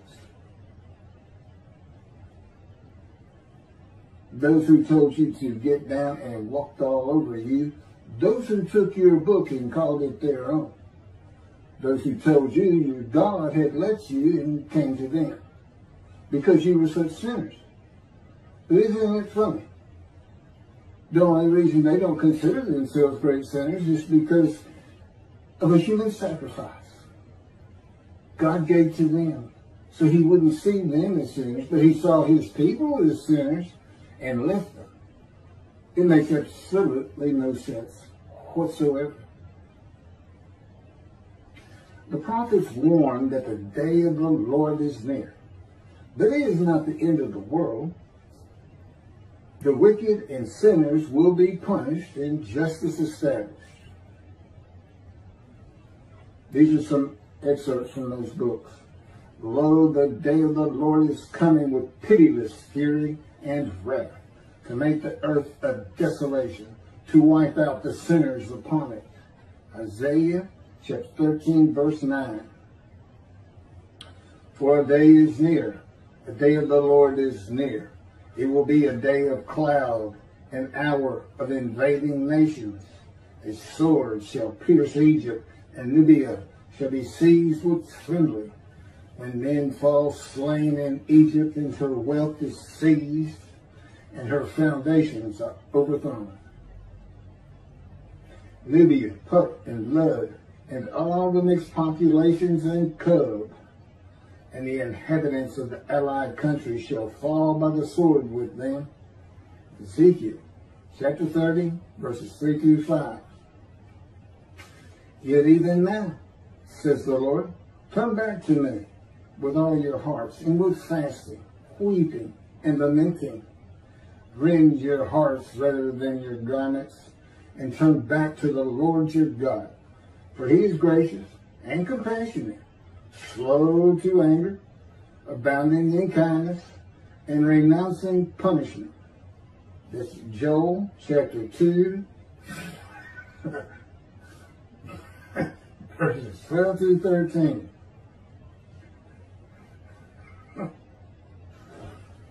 But everyone who invokes the name of the Lord shall escape.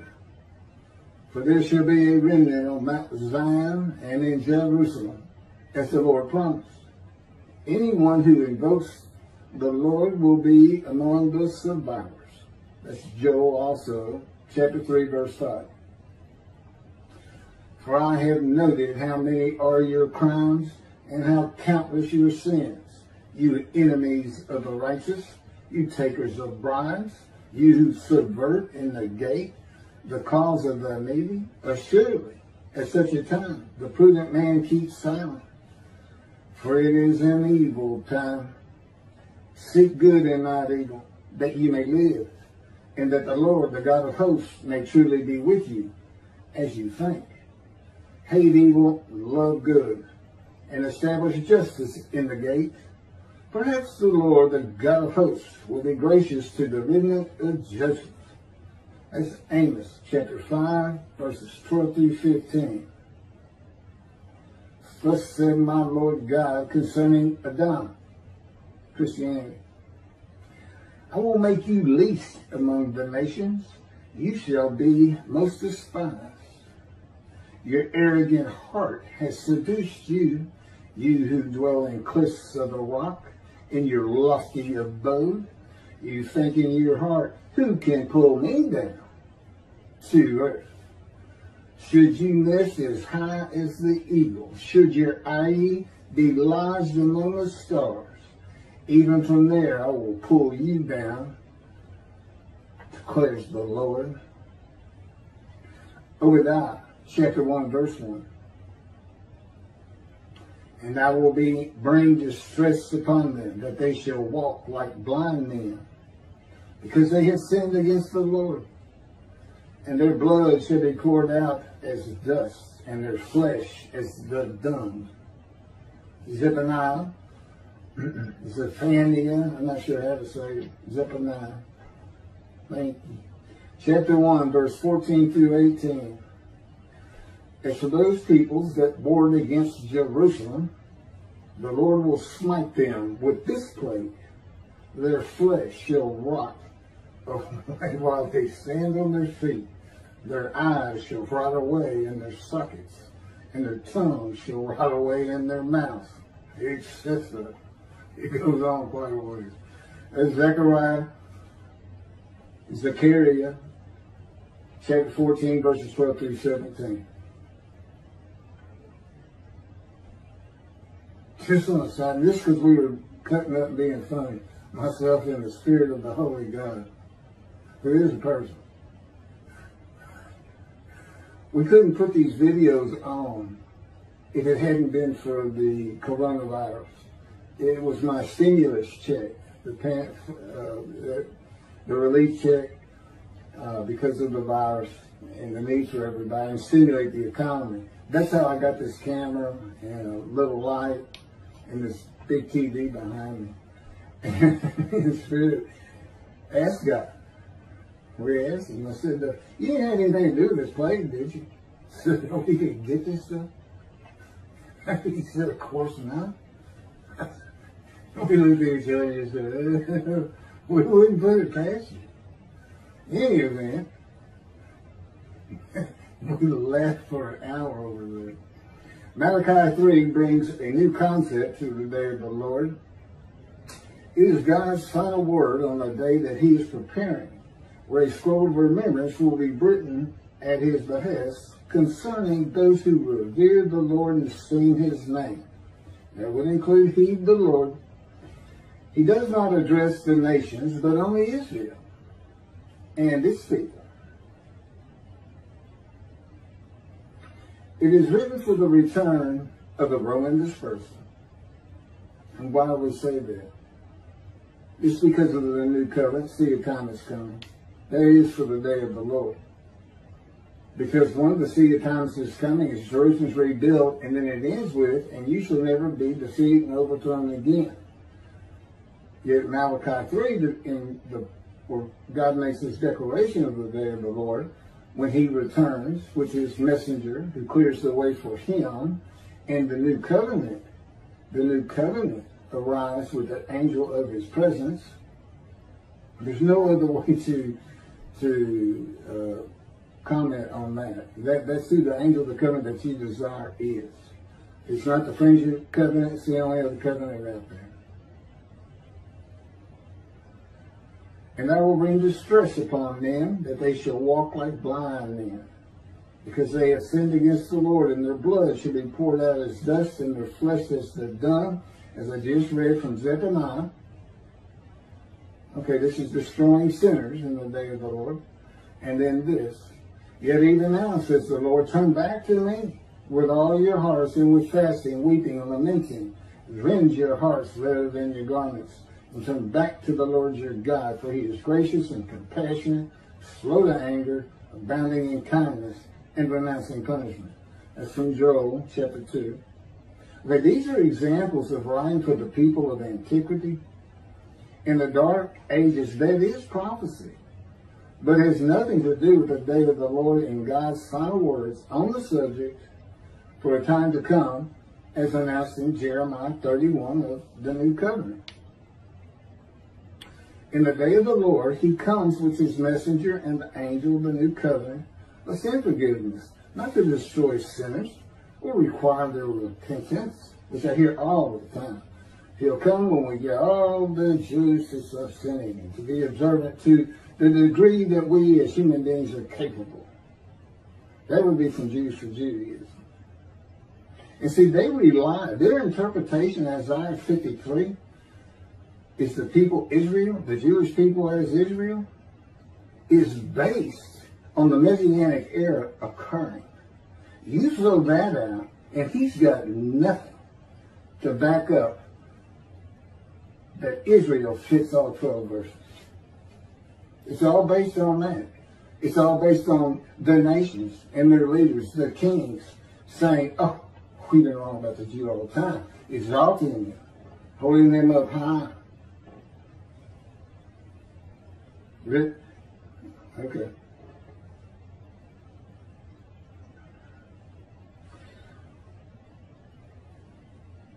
Not to destroy sinners will require their repentance, but to forgive them and give them another chance.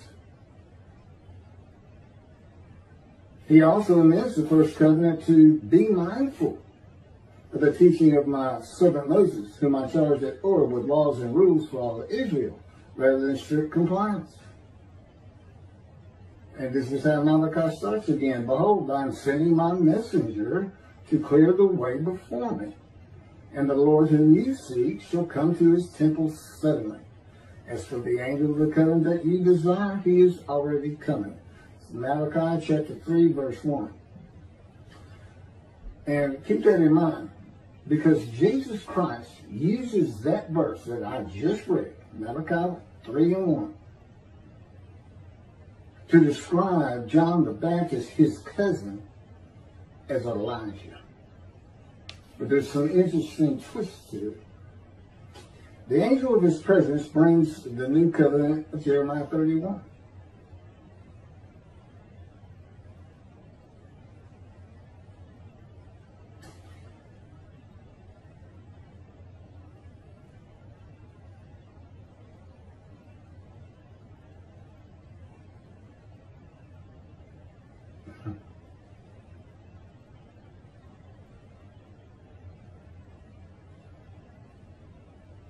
God knew in modern times of secularism and reliance on science, medicine, technology, that his righteous servant might not be recognized, believed, or heeded. The utter destruction of, I think it's, it's verse 24, I think, maybe 23 and 24, is simply on its way of chapter 3 Malachi. Just like it was with the Assyrians, Babylonians, and Romans long ago. Today that would be Islam. God is his creation. And it's he, he's not going to personally come down and destroy it as he did Sodom and Gomorrah. It's just it's just another way of saying I'm going to raise up armies. You know, that were already there. The Jewish people didn't heed his prophets and they were destroyed.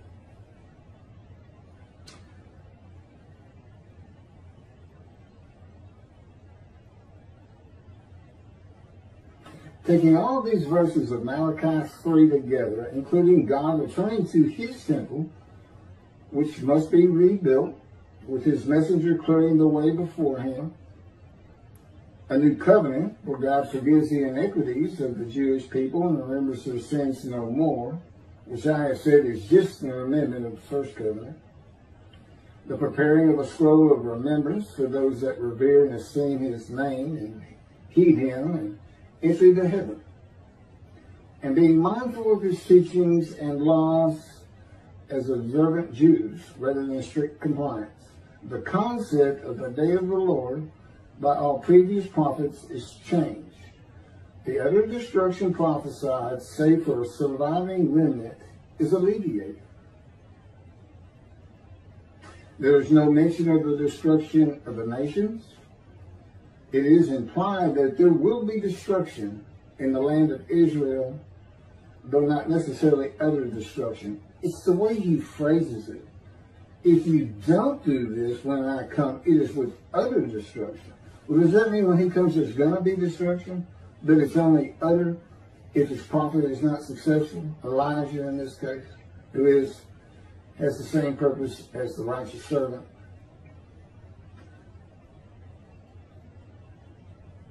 To build the third temple, there will be war in the Middle East causing destruction in Israel and the loss of life among the Jewish people, but it is the building of the third temple that prevents the utter destruction by the nations against Israel.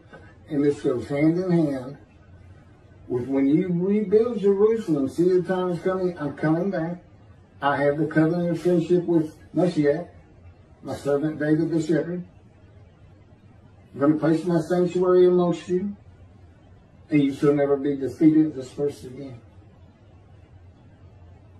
He has to come back. I mean, that, he said, when you get Jerusalem rebuilt, I'll come back. I, you know, clearly he realizes the temple's not here today, and he knew it in the times of Jeremiah. He knows it has to be rebuilt, and he knows he's going to have to be part of that. And to do that, he has to have a Moses, of somebody who can say, this is what we do next. And he's got to have generals listen to him. And he's got to have, he's got to have the Knesset listen to him. In all probably, in my opinion, he won't tell me again. He doesn't tell me anything of the future. I have to figure it out for myself. Things that are natural to, to ascertain, uh, we'll talk about.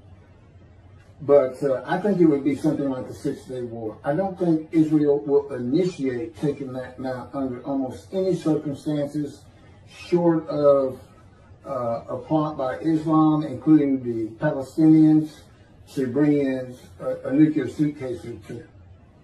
Something like that may may spark things without being attacked by Egypt and Jordan and Lebanon and everybody all at the same time, Iran, and their back test bottle. Defeating the enemies of the nations that come against Israel and the sanctific sanctification of the land and the people blessed by God with his presence in his sanctuary is how utter destruction is avoided in the awesome, fearful day of the Lord. A day that is not one day, but will begin when he comes to prepare his righteous servant who is to be his virtual representation and spokesperson to at least, until at least, his return to his temple. A day that establishes and makes certain that the Jewish people will never be defeated and uprooted again.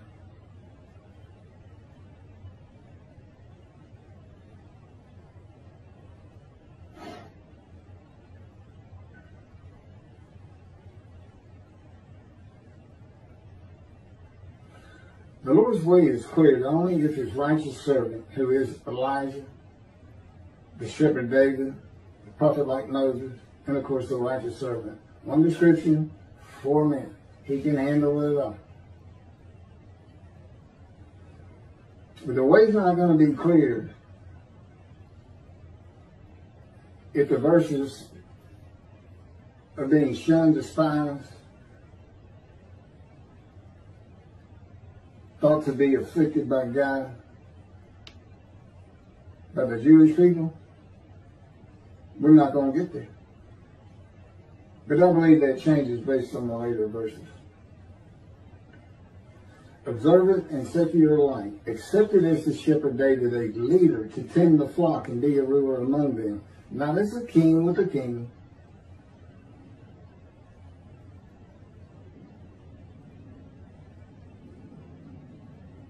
The day of the Lord is the last prophecy of God. In that day, all remaining prophecy down the Hebrew Bible is fulfilled.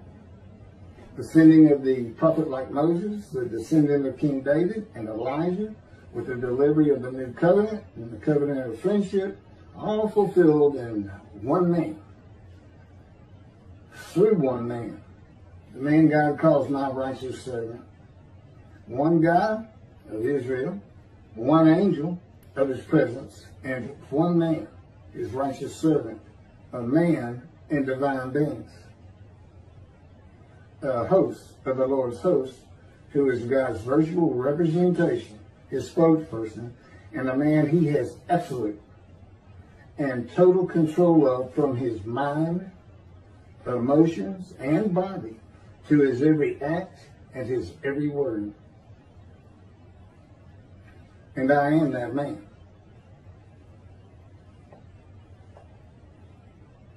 It's not something you say lightly, I can promise you. You're listening to a man in divine beings, that they are here right now speaking to me as I read these things, having me skip when they want me to skip through mine. I said, you got to give me some of those. Come on. He said, we'll give you some of. I see him change, change words that I'm saying. Uh, back, back to this uh, Malachi 3 1 and John the Baptist as Elijah. First and foremost, historically, it cannot be him. Because when he comes, when he comes, that would be when Jerusalem's rebuilt, because he's in Malachi 3. And, and that, of course, is the verse Jesus uses. Okay, but let's just say, let's go back to his time. Number one, the temple was there. I don't know what he was clearing the way for. And uh, God would had been coming with the covenant of friendship to place his sanctuary there. I don't know why he put that in a covenant. But the most important part is it says when Jerusalem rebuilt, which of course was already there, but when it's rebuilt, the Jewish people will never be defeated and dispersed again. Well, 40 years after the death of Jesus in 70 Common Era, the Jewish people had their first of three great revolts against Rome. They were decimated over 50,000 lost by some accounts. And eventually, this uh, defeated dispersed from Rome with the temple being burned to the ground uh, during the first revolt. There was two more revolts actually after that. Um, and Elijah, of course, he, he died long before Jesus did, had his head cut off, put on a platter. Uh, and his people came to Jesus, Jesus, Jesus, John, your cousin. Well, they didn't say your cousin, John the Baptist. He wants to know, are you who you say you are? As in, bad trouble. I need your help. And Jesus' answer is, go tell him the blind see, the crippled walk. He can go ahead. He said, good tell young man. Quite the character. Just gets better. Why is he saying John the Baptist Elijah? You think he doesn't know about the book, the scroll of Jeremiah? Never be defeated again. This is the man who said all the prophets said of him, he'll ride an ass into Jerusalem and be executed. But the only prophet who even talks about it Zechariah chapter 9, verses 9 and 10. Verse 9, the Messiah shall an ass in Jerusalem, verse 10, and defeat them, and call on all the nations to surrender, become king of all, which I suppose would be the Middle East. Well, he just changed it. He just flat out lied. Yeah. He let his cousin get head chopped off. Lazarus had to lay dead for an extra day because he was late. Man.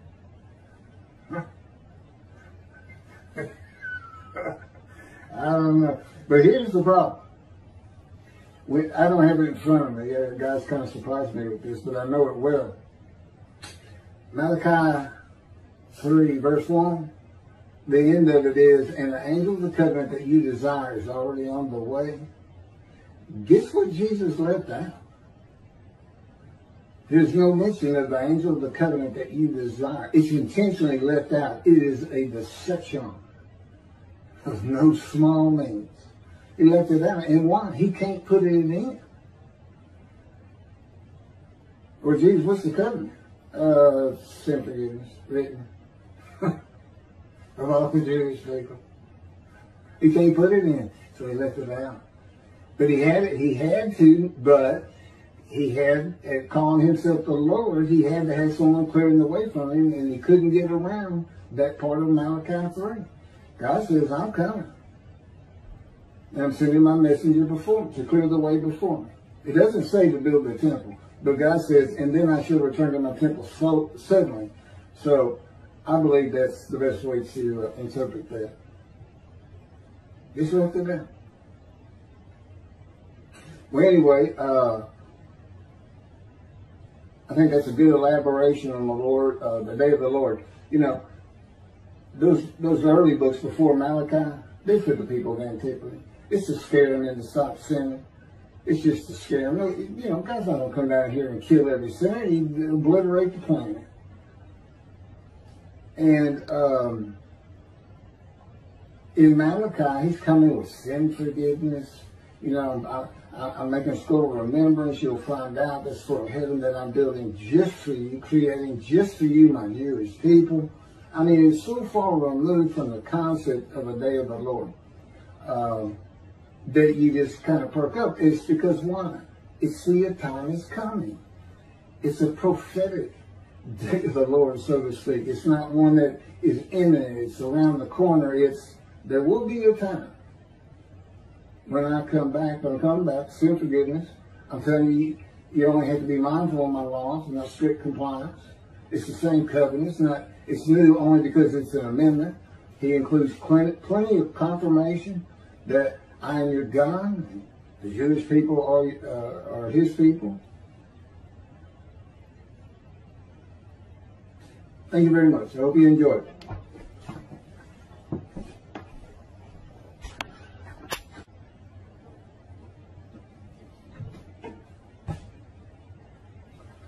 The leper scholar versus Israel in Isaiah 53, a guilt offering. What is his, the Messiah's name? The rabbis said his name is the leper scholar as it is written, Surely he hath borne our griefs and carried our sorrows, yet we did esteem him a leper, smitten of God and afflicted. And that's the Sanhedrin 98, small case B. The belief that Isaiah 53 describes the Jewish people as the man Israel that is often attributed to Rashi is now the prevalent teaching on the subject. Rabbi Singer of Outreach Judaism, Judaism is one of the most followed on the internet and his analysis of Isaiah 53 being Israel. His analysis is very similar to Christians in that he believes the animal atonement and worship laws of the Torah are to be applied to a man. To men, actually, and women and children of the Holocaust. The Christians call Jesus the unblemished Lamb of God. Rabbi Singer says the Jewish people who were murdered and slaughtered in the Holocaust were ram guilt offerings for the purpose which might prosper of having the Jewish people return to the promised land. That would be God's purpose that might prosper in chapter uh, 53. Rabbi Singer's commentary from his Midrash, Isaiah 53, Jesus or Israel, on Isaiah 53, 10. This was posted on a Facebook page. The end of it says, share this with all your friends. In other words, anybody can use it. So, you know, and everybody should know that, by the way. You can't just use something that's on somebody's site. Uh, but if you're given the uh, authorization to, such as he gave, it's okay, but you still can't perjure or slander them. Mm-hmm. I'm a lawyer. I don't practice, but I am a lawyer and I know these things. So I'm just going to really deal with 5310. I'm not going to put his whole, go through his whole midrash or anything. I'm only, it's the one verse that you can't just uh, prove by physical evidence. He offers himself for guilt. You know, all you can do is take somebody's word for it that you did. Except there is a little bit more. In any event, I am going to read, this is in quotes. There's no, I, I didn't do anything. I, I, didn't even make corrections for this bad grammar everything. It's exactly as it is in his midrash on Isaiah 53 that he had posted on Facebook in his notes many years ago. I was a friend of his at the time. So I'm sharing it. I'm sharing it's 5310, but I'm going to give my commentary on it. Contrasting it with his commentary and the problems I see with that, which is not an unusual thing the Jews have always done, but in particular in the, in, the times of the Talmud, Rashi, uh, Ramban, they were always writing about each other and what that person thought and this and that. So these, I'm going to read everything because it's in quotes and I don't want to, someone say I misquoted something because I'm not. So he starts out and he quotes himself, 5310. Hashem desired to oppress him and he afflicted him if his soul would acknowledge guilt. He would see offspring and live long days and the desire of Hashem would succeed in his hand. Then he quotes 5310 from the Jewish Publication Society. He doesn't say where the first one came from. I, don't, I, I recognize it, but I don't know where it came from either. But the Lord chose to crush him by disease, that if he made himself an offering for guilt, he might see offspring and have long life, and that through him the Lord's purpose might prosper. This translation by the Jewish Public, Publication Society uh, of the Hebrew uh, into English began in, I believe it's 1956 from scratch. They didn't use, they didn't use old texts from the Talmud era. Uh, you know, the, the Old Testament of the Christians is, a, is from a Greek translation and then into English. And translations are tough enough as it is without going through two instead of just directly one. And the, and the, the, the rabbis and uh, scholars on language uh, who were involved with that process for many, many years um, began with the uh, Leningrad Codex, the oldest Hebrew translation of the Hebrew, uh, not translation, the oldest uh, Hebrew Bible um, written in Hebrew. Uh, it's and, and, and, they they translated it. It's it's one that's been used for for hundreds of years.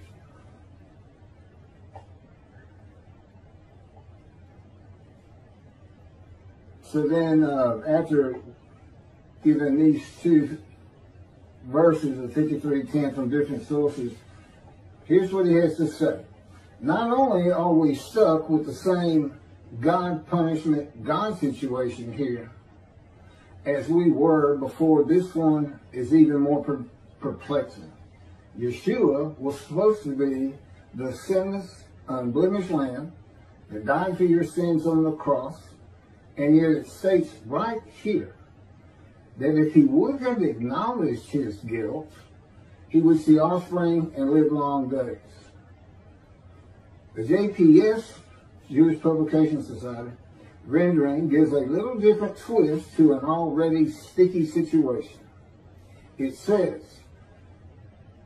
parentheses, if this were referring to Yeshua, close friend, that the Lord chose to crush him by disease.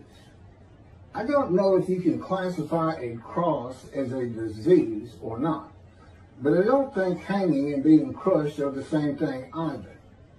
In fact, according to John's gospel, not a single bone of Yeshua's body was broken. Of course, this was stated so he could be equated with the Passover lamb, and John is the only one that compares Yeshua to the Passover lamb. But how could this be speaking about eternal Israel? Very easily.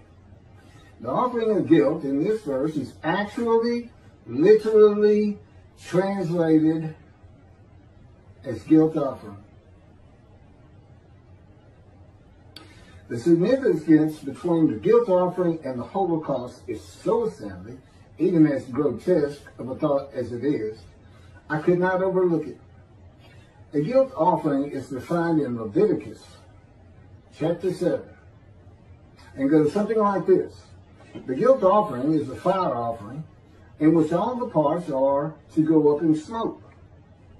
And the high belongs to the one making the offering.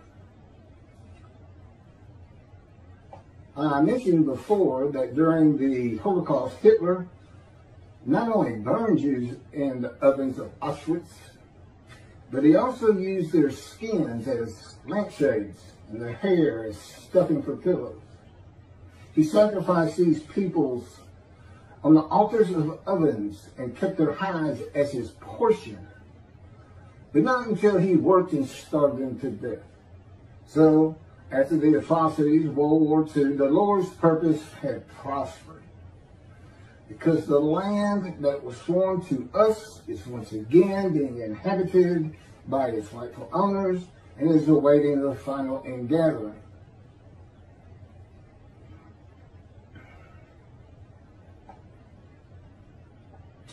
The guilt offering, uh, that's it, that's it for the quotes. That's his commentary on verse 10.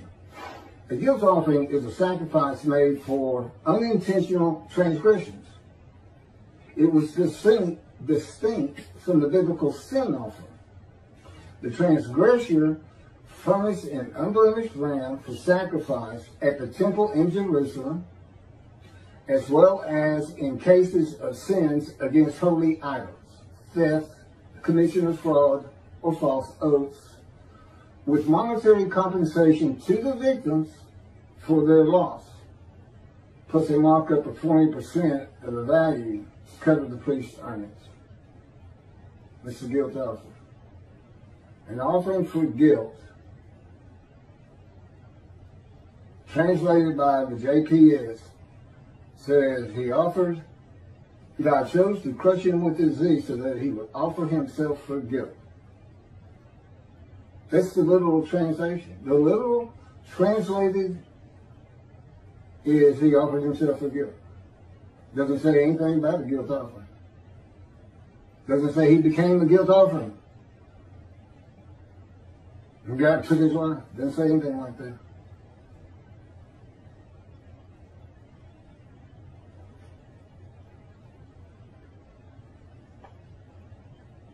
The Jewish people murdered in the Holocaust had not made any unintentional transgressions against Hitler and did not make monetary compensation to Hitler if they did. It is the people Israel that makes themselves an offering for guilt and Rabbi Singer analysis, though he seems to be saying Hitler made a guilt offering to God of blemished rams. And these aren't the, this, this isn't the unblemished lamb of God, the unblemished rams of God for guilt offering sacrifices. These were all just regular people. Everybody has some sins in their life. So they, they technically, you know, if this is what happened, I really can't figure out what he's done here. But I do, I do my best. I try to keep an open mind. But you, you, you can't offer an animal in any of the offerings that's blemished, defective, sick, diseased. You can't offer them. God won't accept them. And, and human beings are not a part of an animal sacrificial and atonement system, system of learning, learning what sin is. Learning, it can cost you. You might have to give up your prized animal if you want to be forgiven by God. And it teaches you how to cook your food. It's a system he did away with through his prophets. Isaiah chapter 1, Amos, Psalms. He, he told he told the Jewish people, not only did he said, do not sacrifice your children, which they were doing to the fire god all too often, but he told them, I no longer want your animals. Stop sinning is what it all boils down to. And this is even picked up in the book of Hebrews of the Christians. Basically, Jesus said, God no longer wants bulls and goats for sin. He has prepared my body to sacrifice for sins. The final sacrifice. His body prepared by God. I don't believe that any more than I believe God would accept a blemished Lamb of God. Because, and I've, I've already shown the videos, you cannot deceive it. It's, it's written in the scripture how he manipulated and lied and changed verses. He's a liar and a deceiver. He's a false prophet. He prophesied five times of his return and he never did it. And he even said it's going to be quick. It's going to be quickly. It's going to be quickly. That's been over 2,000 years. But basically, it was his generation. When he was born, everybody alive at that moment is his generation. When they're all dead, his generation's over. They're all dead. He said, I preach you shall see me return. Sounds kind of vengeful, kind of like the movies you see with the fellow getting ready to be electrocuted and tells the one, I'm coming back. Harsher. You, the people of Caesarea, there are those amongst you who will see me return. You know they did. You, members of my twelve, there are those amongst you who will be alive when I return. No, they didn't. My favorite, Book of Revelation. The great story of destruction of all things, and Jesus comes, and the Jews that don't believe in him are not only killed, they're put in hell. Judaism doesn't even believe in a hell. If they don't believe in Jesus, well, why would you believe a liar, a deceiver, in a book of lies and deceit? People who believe in human sacrifice, being healed by the blood of the death of another. Do they not want to be responsible for their own actions as it is? It's a sick, sick religion. And if you knew God as I knew God, you would know how repulsed he is at the thought that he would offer a human sacrifice to anyone, much less the Gentiles. He doesn't give any, he, you sacrifice to the gods the Mayans did to receive favor. What favor did the Gentiles give God? With their presence in heaven? The continued sinning? I've been told Jesus won't just forgive your sins if you accept him. He's going to forgive all the sins you make the rest of your life. Because he already knows you're going to do it. So he's forgiven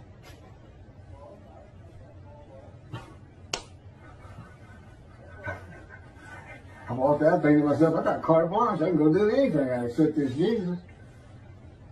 But no, I don't accept Jesus. Indeed, I don't think he ever existed. I think he's a story. And I have good reason for that. But let's get back to God murdering his children. I don't think Hitler offered them. So here's these brands. Somebody had to offer them, so God's going to offer them. Not unlike he offered his son.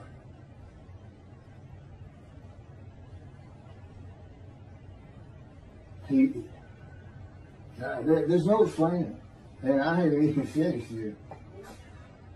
So, Hitler sacrificed these people on the altars of ovens. These, these ovens to get rid of bodies of fire had become authors And kept their hides as his portion.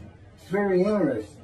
Because in verse 11 of Isaiah 53, the righteous servant who makes the many righteous receives as his portion the many, and as his spoil, the multitude. The reference is to the people he's making righteous, the many. Many will be made righteous. My righteous servant makes the many righteous. Your portion, the many. You can keep your followers. Maybe they'll donate to your uh, your cause, getting God's temple rebuilt. But I gotta I gotta wade through rabbis like this. And Jews for Judaism and Michael Skobac, who basically just ignores 10. It's so simple.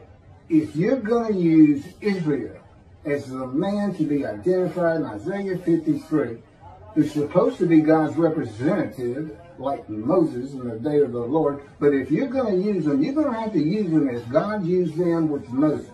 You gather every single one of them. They have to agree to a man. I want to know when all Jews got together as one and were plagued by God with disease and brought to grief with sickness, that they would offer themselves for guilt to God, be given long life, and make the many righteous. How many people did the murdered Jews of the Holocaust make righteous? How many of them saw their children after that? None of it makes sense. And Hitler's portion, is it him? Did he make the offering? Why is he getting a portion? Is Hitler the righteous servant of God? That's what he's saying.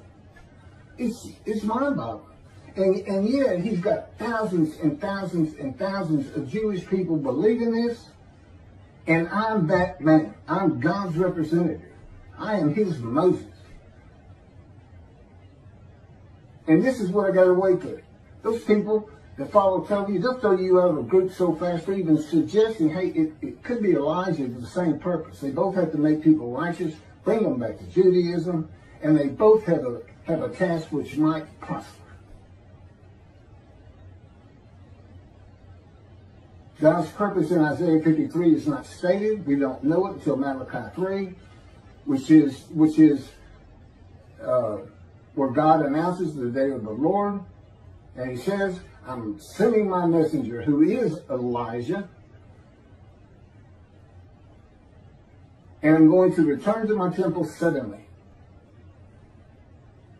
That's, that's his purpose. Okay, so picking back up.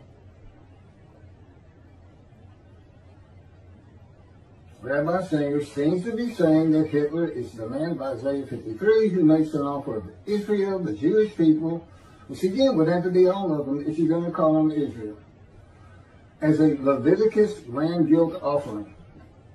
And he and Hitler receives as his portion the house.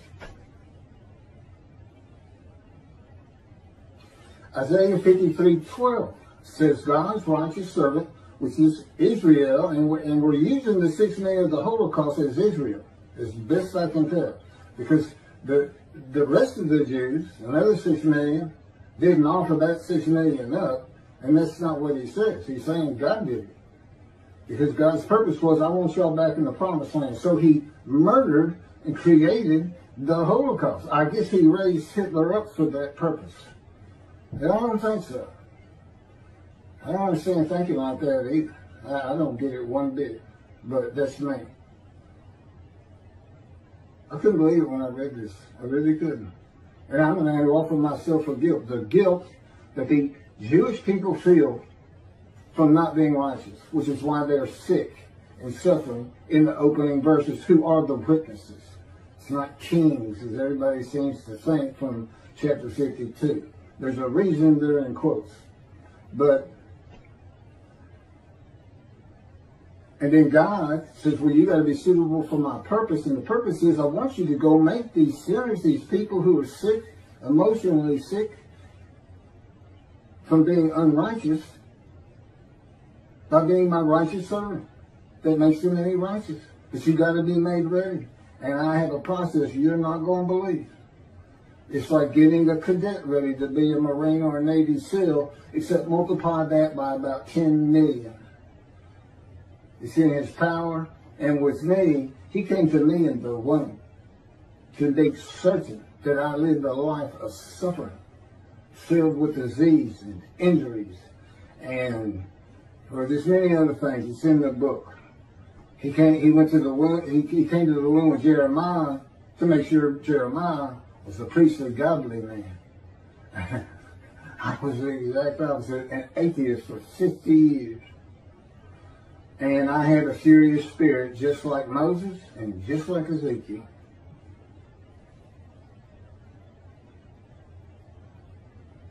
So, verse 12 of, of uh, chapter 53 of Isaiah says, God's righteous servant is exposed to death. He is exposed to death by disease, from an affliction by God. God chose to crush him with disease. Then he says, well, I'm gonna I'm gonna reward him because he was exposed to death. It's a disease, it's a sickness that can kill you. With me it was cancer. There's other diseases that can kill you. Skin cancer, colon cancer, lung cancer, untreatable lung cancer. And here is my proof that I offered myself for gift. I said early on, there's no physical proof, but there's some indirect proof. I was told I had no more than a month or so to live, to be prepared to die, based on pictures of my lungs, each one. Doctor said, you see those, this is after colon cancer and chemotherapy for colon cancer that should have killed me. And he says, you see all those white spots all over your lungs? He says, every one of them is cancer. It's growing cancer. It's too advanced to even treat. You should have come in earlier on the colon cancer. So everybody get checked if you think you might have a problem or when they say you should go get checked. And um, he said, this this spread quite a while back. I don't know why they hadn't already picked it up. They didn't pick it up until after the colon chemo. And I haven't seen a doctor since that day. Just walked out of there, trying to die. You know, quit work.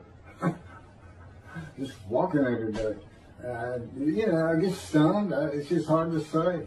In many ways, I, I guess I was in denial. They said that's part of it. I just, I didn't even think I was really going to die.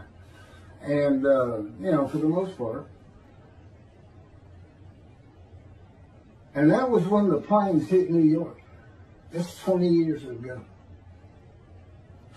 When I was 50, about seven to eight years after that, with the doctors, is when God first spoke to me. And again, I'd been an atheist for 50 years. I knew nothing.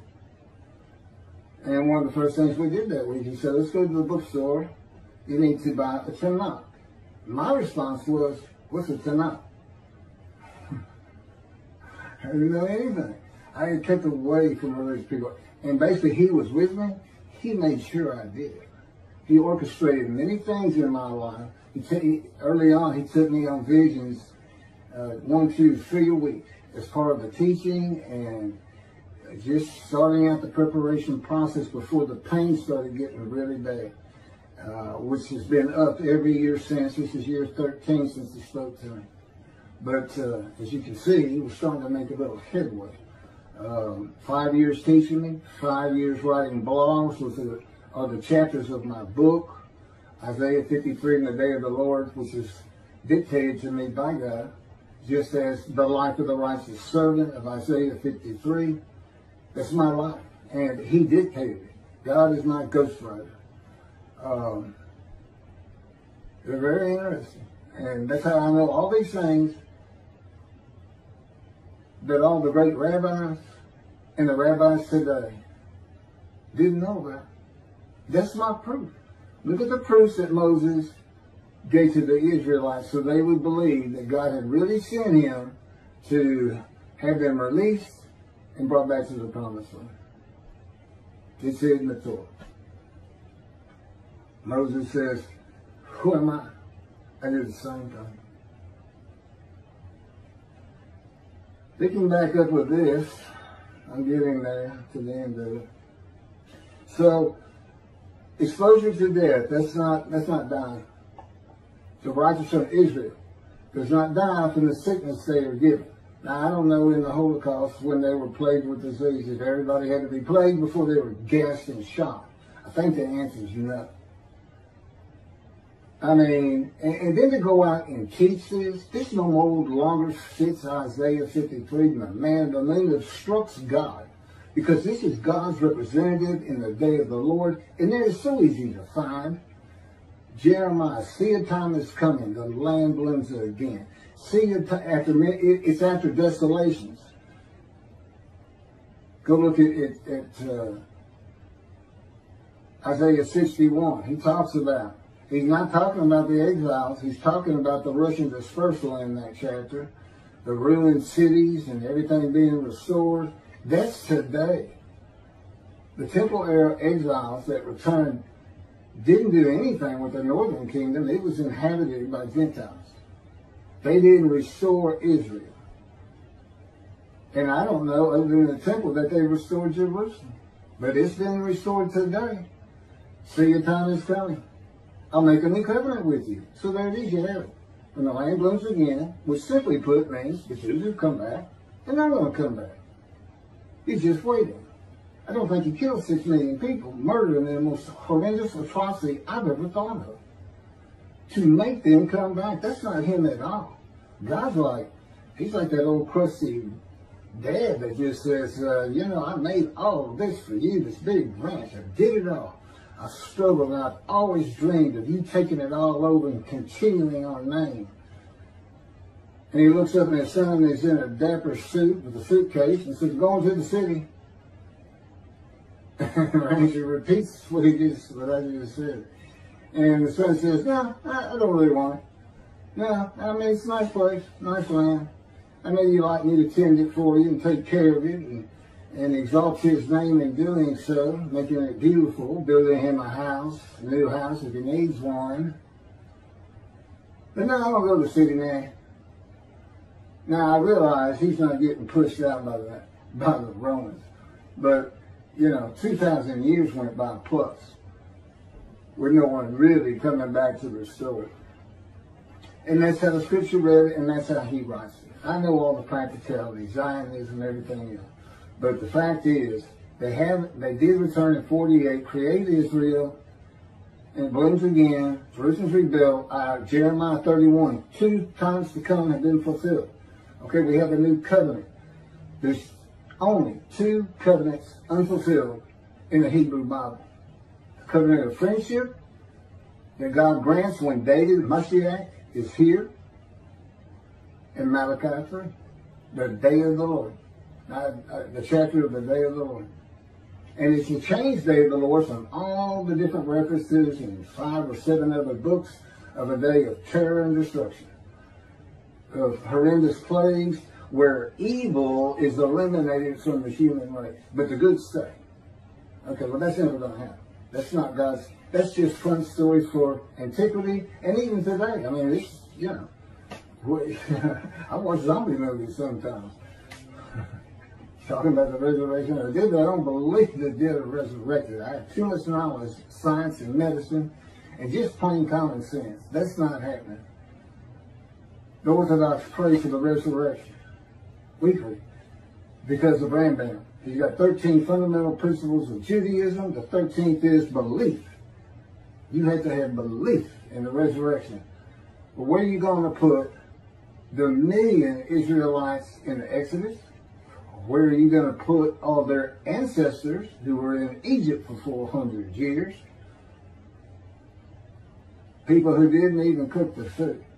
Because God had to teach them with the animal sacrificial and atonement laws. Bring your animal to a fire. Now share in it. At least the priest teach it. Teach it. It's better eating if you're going to not drink the blood. Okay? Part of the laws, rules, and commandments. You got to cook it. You can drain it all you want. You need to cook it. And that's what that was about. And he did away with it. And even Jesus did that. God no longer wants animals for sin. He's prepared a human body for it. that was never intended for a human body. And God knew, knew what the Gentiles were going to do. They were going to come up with an unblemished land so they could get sin free. And that's why Isaiah 53 describes a man as blemished and with defect by some of the words, if you look up their definitions of the synonyms, serious injuries, just, just an entire life of misery. I am the man of Isaiah 53. I match every verse. My midrash will show you that and show you how all these things that I'm talking about, of course, are in the book. Um, I am the exact opposite of Jesus Christ. I am the blemished, disfigured prophet of God. I'm not a lamb. I'm a man. I can't be used for the human sacrifice system if anybody's thinking about it. Because I'm the righteous servant of God, they think, oh, that'd be a good sacrifice. That'd be good. What I want to see, now that we all know the Jews are the righteous servant of God, all of them. There's 7 million in Israel, 7 million in America, and I don't know how many millions in Europe and across the world. I'll just say 14 million. When are they going to make the world righteous? They say they're the righteous servant. When have they made the many righteous and a multitude as one man is it? it it's so far from fitting. It's just as far as Jesus Christ said. They have taken this concept, him and Jews for Judaism, Michael Skobac and his cohorts, have taken this concept and this idea and they can't back it up one bit, and yet they have convinced, because of their unique personalities, very, very jovial, very nice to listen to, very intelligent, but with false teachings. And thousands of Jewish people believe this. It's Israel. You, I can't even mention it could be Elijah, much less a Gentile. But that is exactly what God did so he could have his vengeance and vindication against Christianity by saying, you know what? My Isaiah 53 describes a Gentile. I come from Edom. I wasn't allowed to go through Edom with Moses. I come from Edom in a time of that's Christianity. Esau and Edom. I'm coming from Christianity, and he says in, in chapter 63, and of the peoples, that's his people, the Jewish people, None are with him. Comes with the Gentile. And it's for his vindication against Christians because he knew what they were going to do. And Jesus is a Jew. He can't fit it. He's not, he's, he's not from the stump of Jesse. He's from the failed ancestral tree. He can't be the man of chapter 11, the anointed, Mashiach, who is described in 53. He can't be him for so many reasons. his lies and deceits. There may be other rabbis who've seen these things, like the Zacharias riding the ass into Jerusalem, and he says, I'm going to be crucified there by the Gentiles. When you look it up, and he says, all the prophets write this of me. Well, there's 20 prophets in the Jewish Bible, and not one of them says it. What one does say is the Mashiach will ride it, uh, ass into Jerusalem, which basically means he's going to be a humble man that doesn't have to be created by me, God's making sure Moses ended up being the most humble man on earth. And I know why. It's because of how God treats you. But I got too much of David that I had to show in the purposes that I have. My, my spirit is still furious. But the good thing is, I don't feel the fury inside. He can have me talk like this, like I'm furious, and I'm fine. This stuff, this, I, won't even hardly remember saying any of this. It's, a, it's incredible the stories I could tell people once this gets going, just sitting around dinner, you know, for those who truly believe. Uh, and, and, the evidence is overwhelming. Uh, to not believe it is, is really to tell me you didn't never believe Moses. It's, you, you, you and your ancestors would have died in Egypt. You have gone, you'd have stayed. You can't use animal sacrifice for human beings. It, it's just mind-boggling. Absolutely mind-boggling. Okay, let me see where I'm at. I think I'm about done.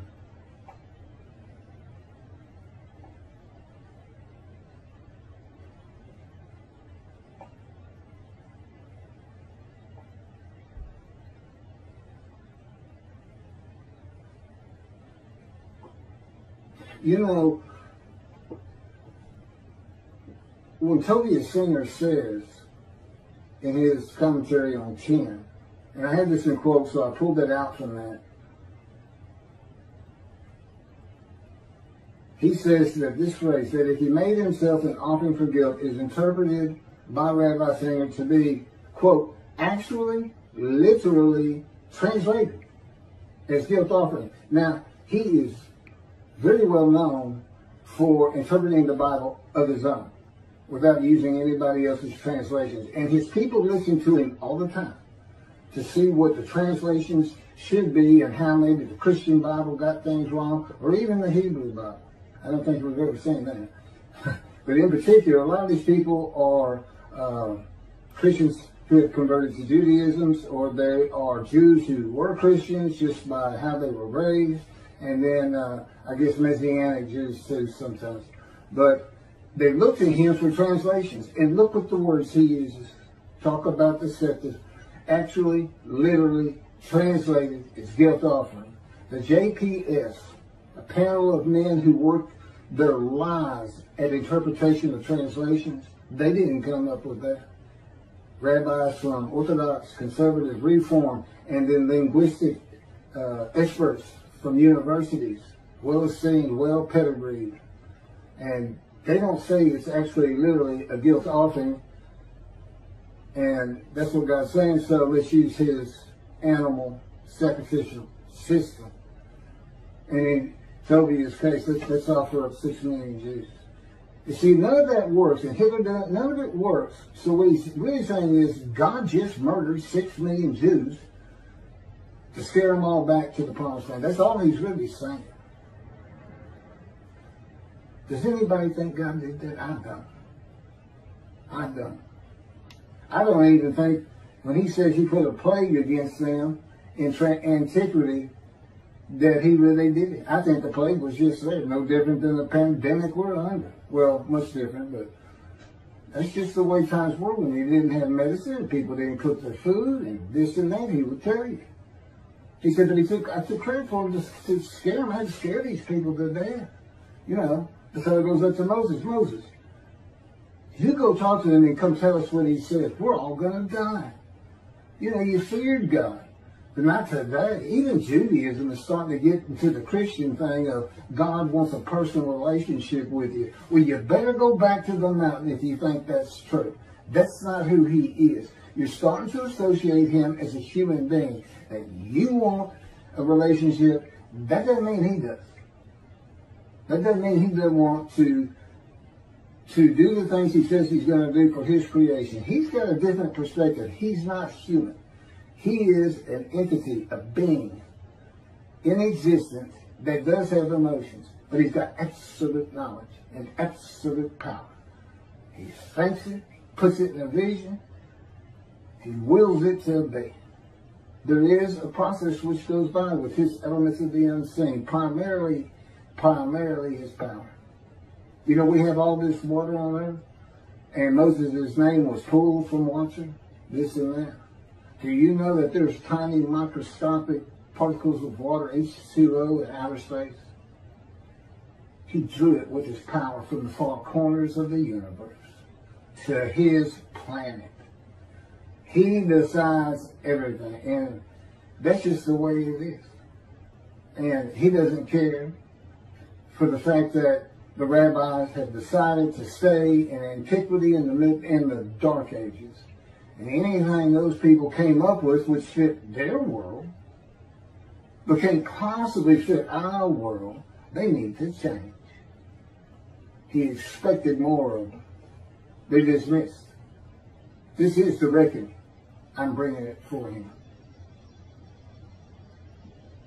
But he orchestrates every single word from my mouth.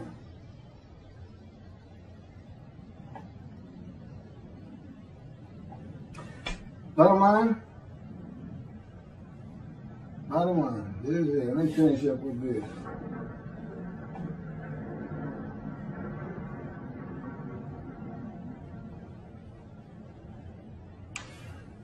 Who receives the long life? I want to know who receives the long life. Because it's not Hitler and it's not the victims of the Holocaust. Who receives the long life?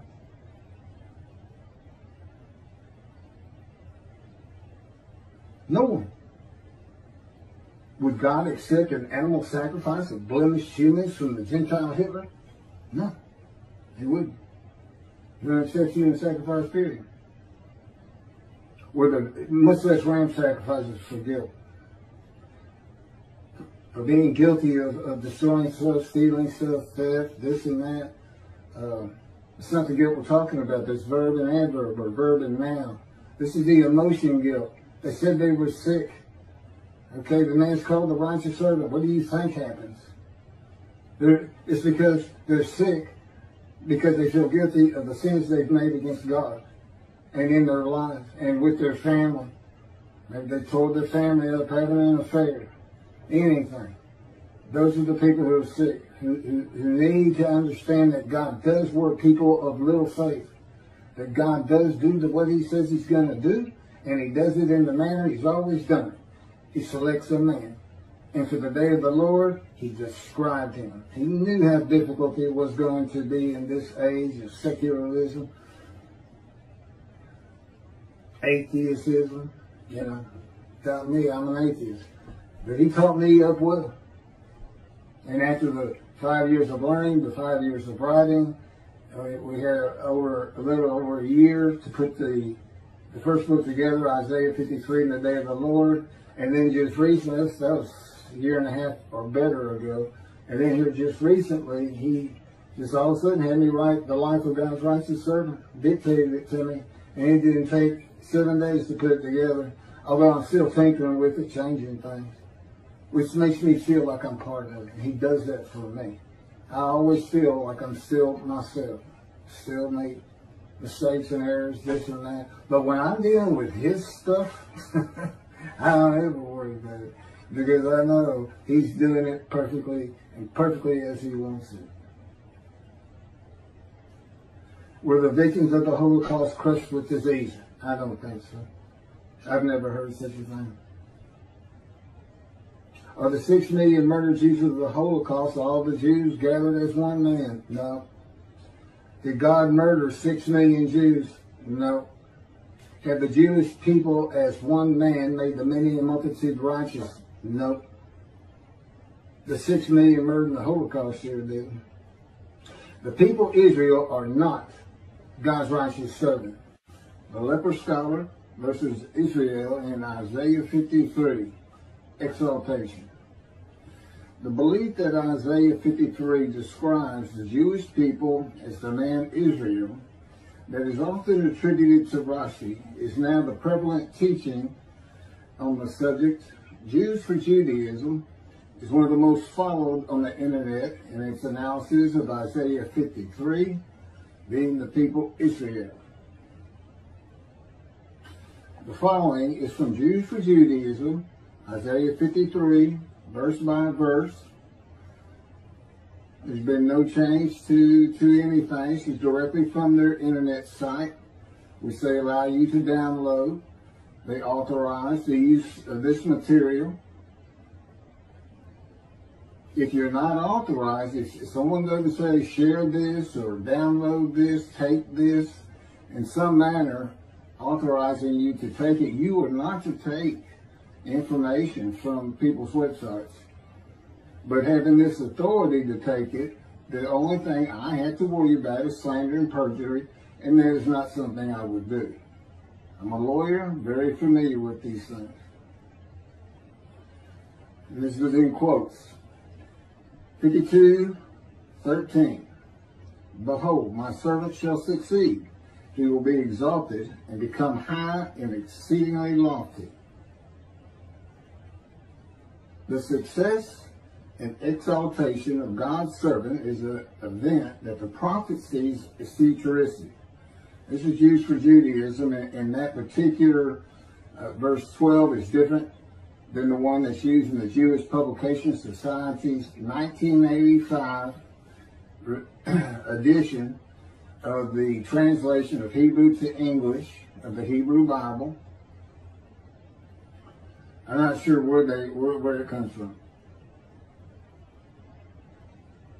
Continuing on with this writing, the immediate context, chapter 52, verses 7 through 12, tells us that this is part of the blessing that Israel will experience at the time of her restoration.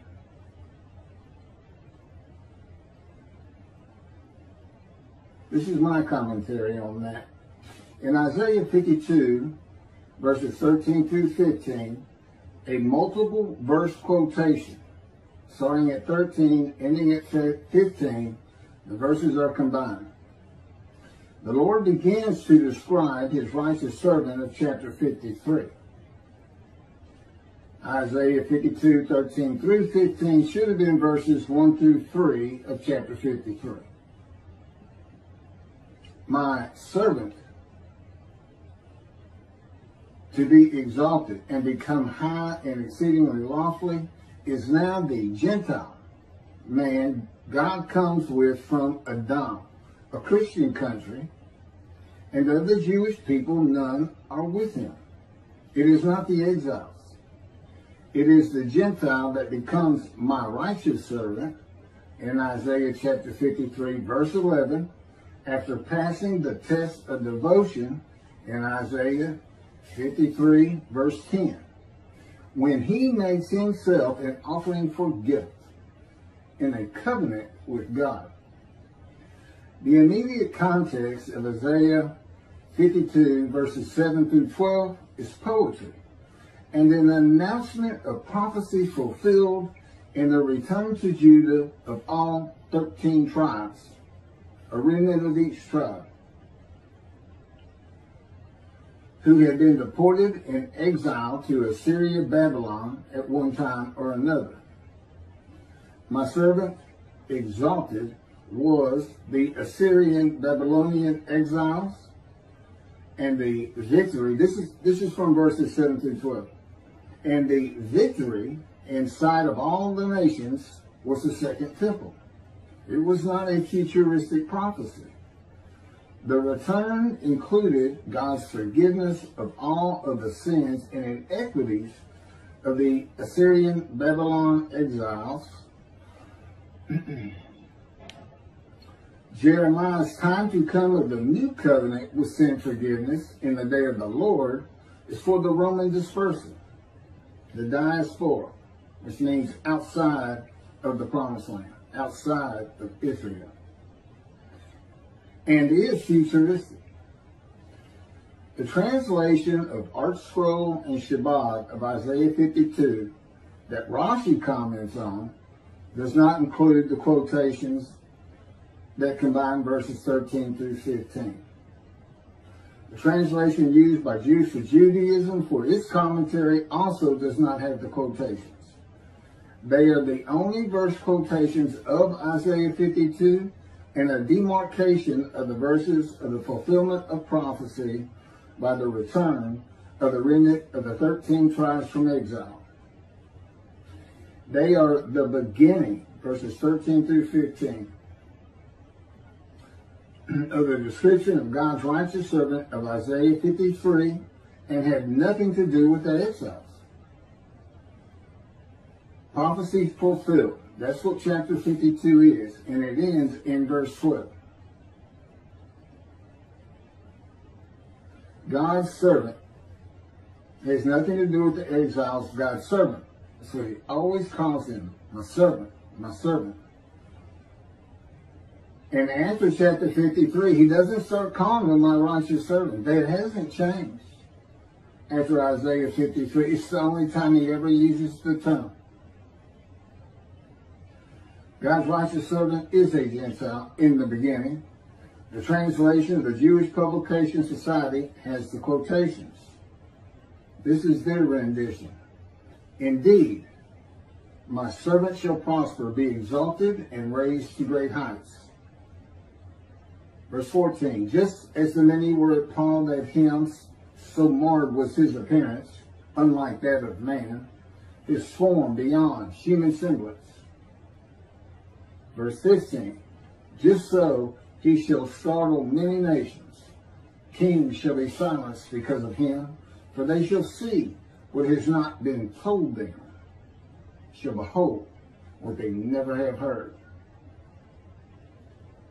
My servant is now the Gentile and not the exiles who becomes my righteous servant in Isaiah 53, 11, after passing the test of the devotion in Isaiah 53, 10, when he makes himself an offering for guilt in a covenant with God.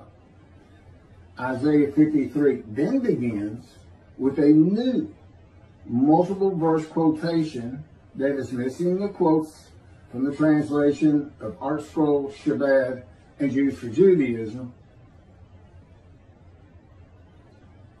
But again, it's they are included in the translation of the Jewish Publication Society. And what's interesting about their rendition is they started from scratch, a complete new translation begun in 1955.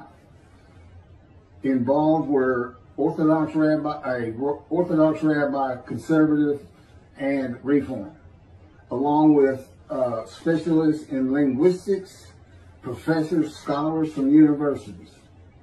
It spent, it would look uh, 55 and it's, it's uh, went to print in 85. So some 30 years of working on this language. And, and they, they, they used the oldest Hebrew Bible that we have around 1100, I think it is. It's called the Leningrad Codex. And they just, they just took it out, started on the first page. Now, all these other renditions are generally, are generally a uh, translation that began with the Leningrad Codex, but went through several different translators, making different changes. And of course, when this was done, Hebrew had been adopted by the state of Israel, uh, I would suppose in 1948 when Israel was created after the Holocaust. So they, they had a good background, you know. Uh, here, here's how they read. Who can believe what we have heard? Upon whom has the arm of the Lord been revealed? For he has grown by his favor, like a tree kind, like a tree trunk out of arid ground. He had no form or beauty, that we should look at him, no charm, that we should find him pleasing. He was despised, shunned by men, a man of suffering, familiar with disease, as one who hid his face from us. He was despised, we held him of no account. Yet, it was our sickness that he was bearing, our suffering that he endured. We accounted him plagued, smitten, and afflicted by God.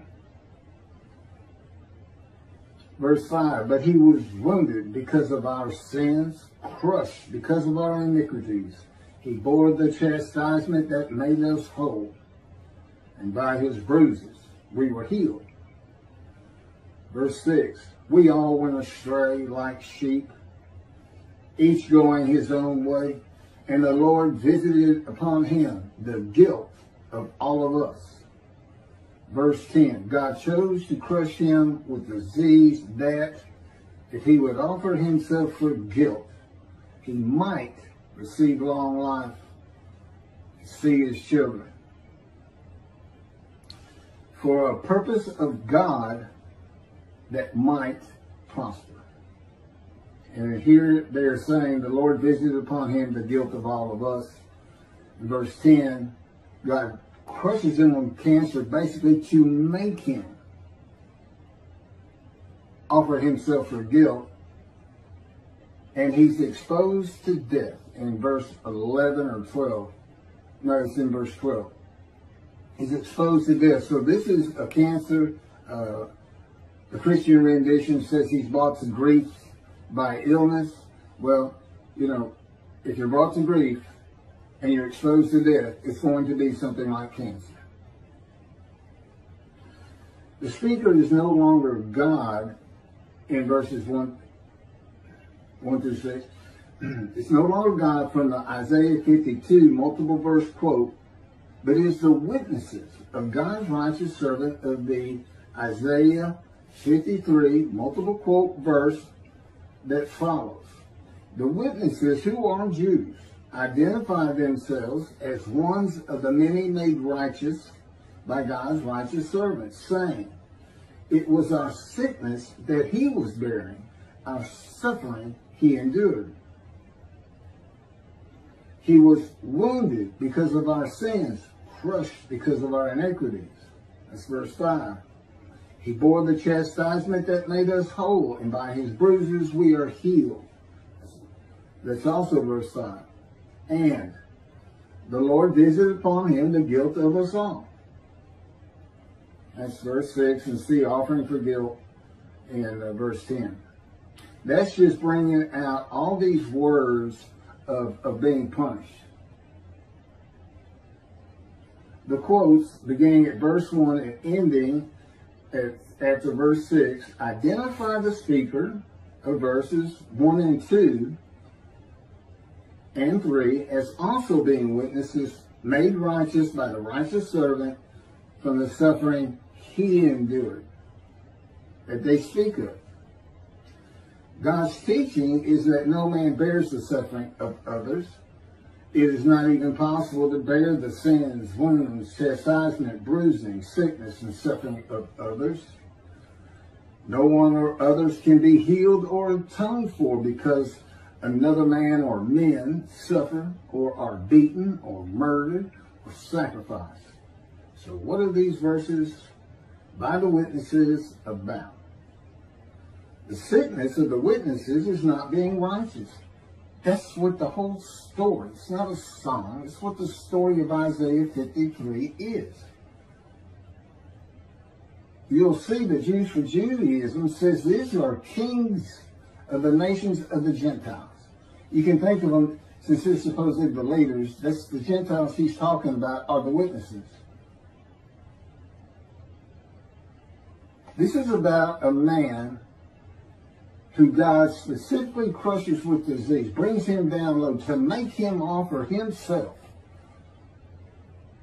for the guilt, which is an emotion of the Jewish people that they feel for violating his laws, commandments, and rules. That's the sickness. It makes you sick to your stomach when you realize you're not doing well in God's ways all the problems you have in your family, with your children, with your boss, everything, if you're sinful, if you're not following the commandments God gave you to live your life as in the best way possible in this harsh world, and he knows that. Those commandments are for us. They're not, it, it's just his way of saying, I understand the world's harsh. I have a purpose for it. It's perfect. It's exactly what I want.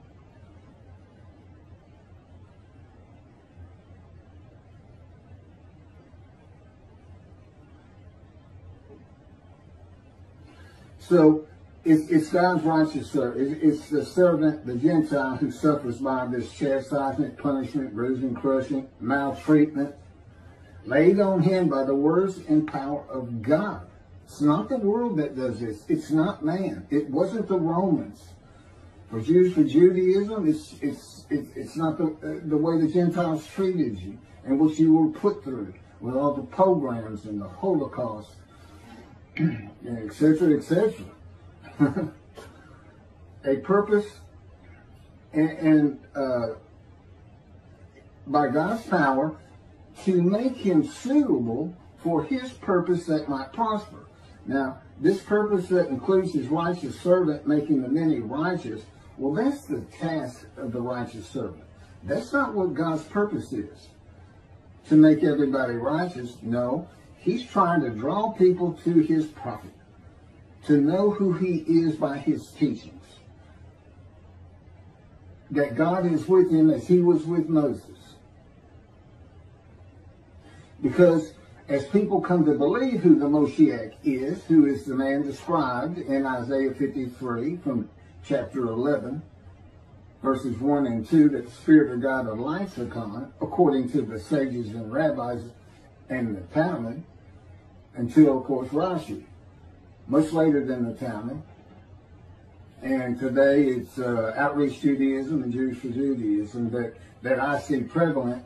I don't know that all rabbis aren't like Maimonides, Rambam, who said uh, Rashi's wrong. He's just flat wrong. It's too inconsistent. It doesn't fit. And Rashi, as I point out in another video, and I believe it gets pointed out in this video, uh, is apparently known for inconsistencies. I, I, really can't comment on that, other than I, I have one inconsistency that I'm, I'm talking about. But we find out what that purpose is in Malachi 3.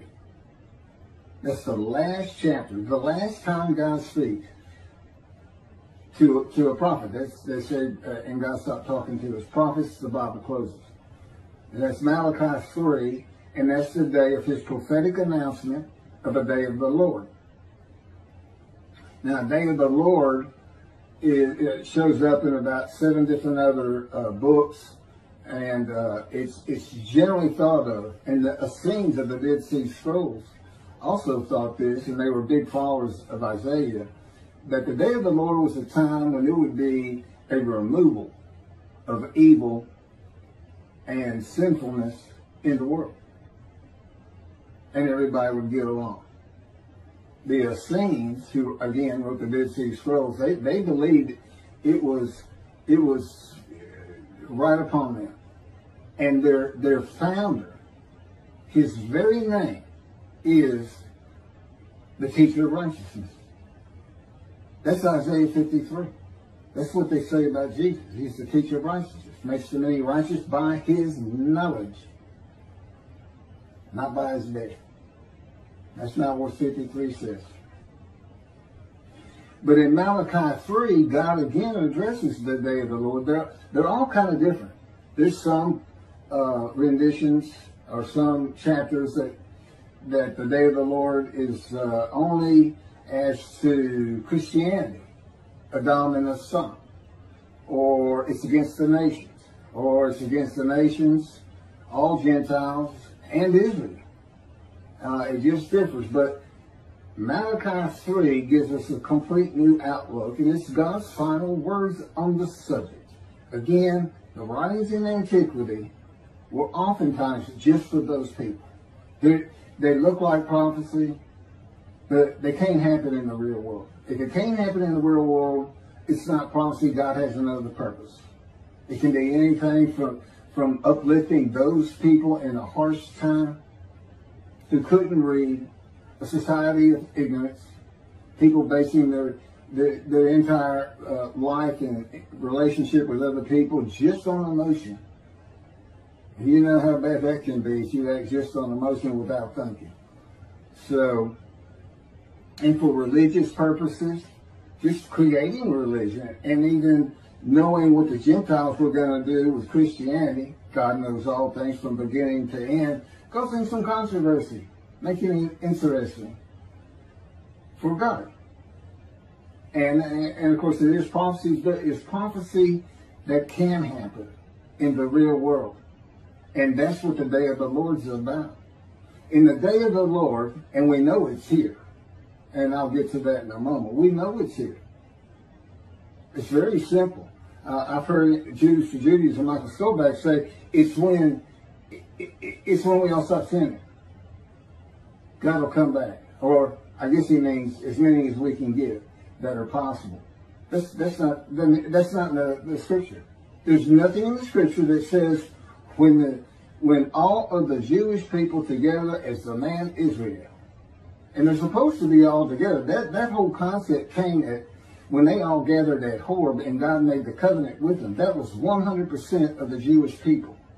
And they had to agree to a man to accept the teachings God gives Moses and then to them.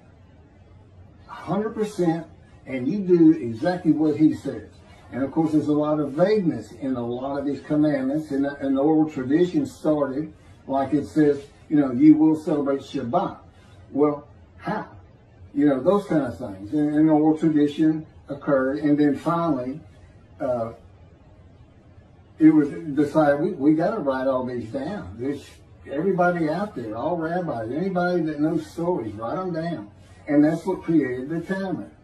God knew that's exactly what would happen by leaving his commandments and laws and rules and teachings so vague in, in many places. And he knew that they were going to associate Edom with Esau, and Esau is the brother of Jacob, who God renamed Israel. Eternal antagonists, almost enemies. And that's how this whole thing developed, that Edom was considered Rome, then Christian Rome. Rome fell, and today it's Christianity, a reference to Edom Esau.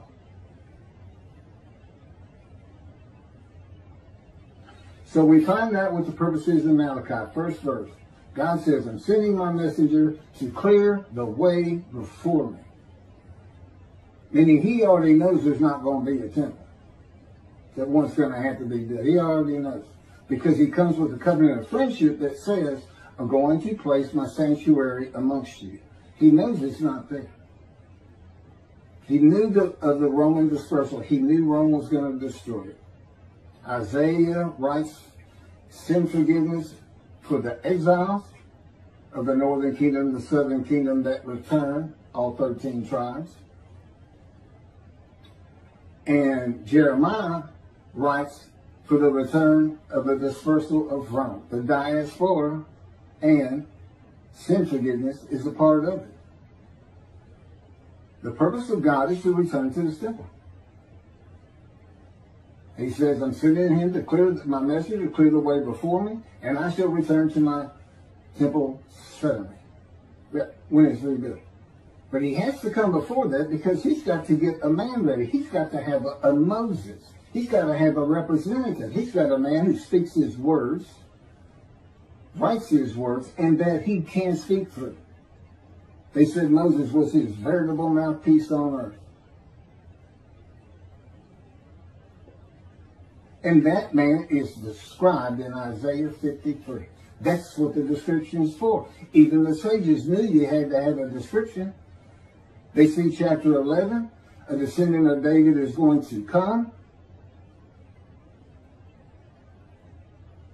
And they've only got one description. And they say, well, that sure doesn't look like King David, this man of suffering, familiar with disease that is shunned and despised accounted plagued and afflicted by God. That doesn't sound like him, but that's got to be him. And that's exactly what they had written. And that's what's in the Talmud. And that, of course, is what Rashi disagreed with. He said, no, I don't know that he's reasoning behind it or anything. I, you know, I, I haven't studied Rashi that much. I know he's a great scholar, dearly beloved, and uh, and thought of and thought of very highly.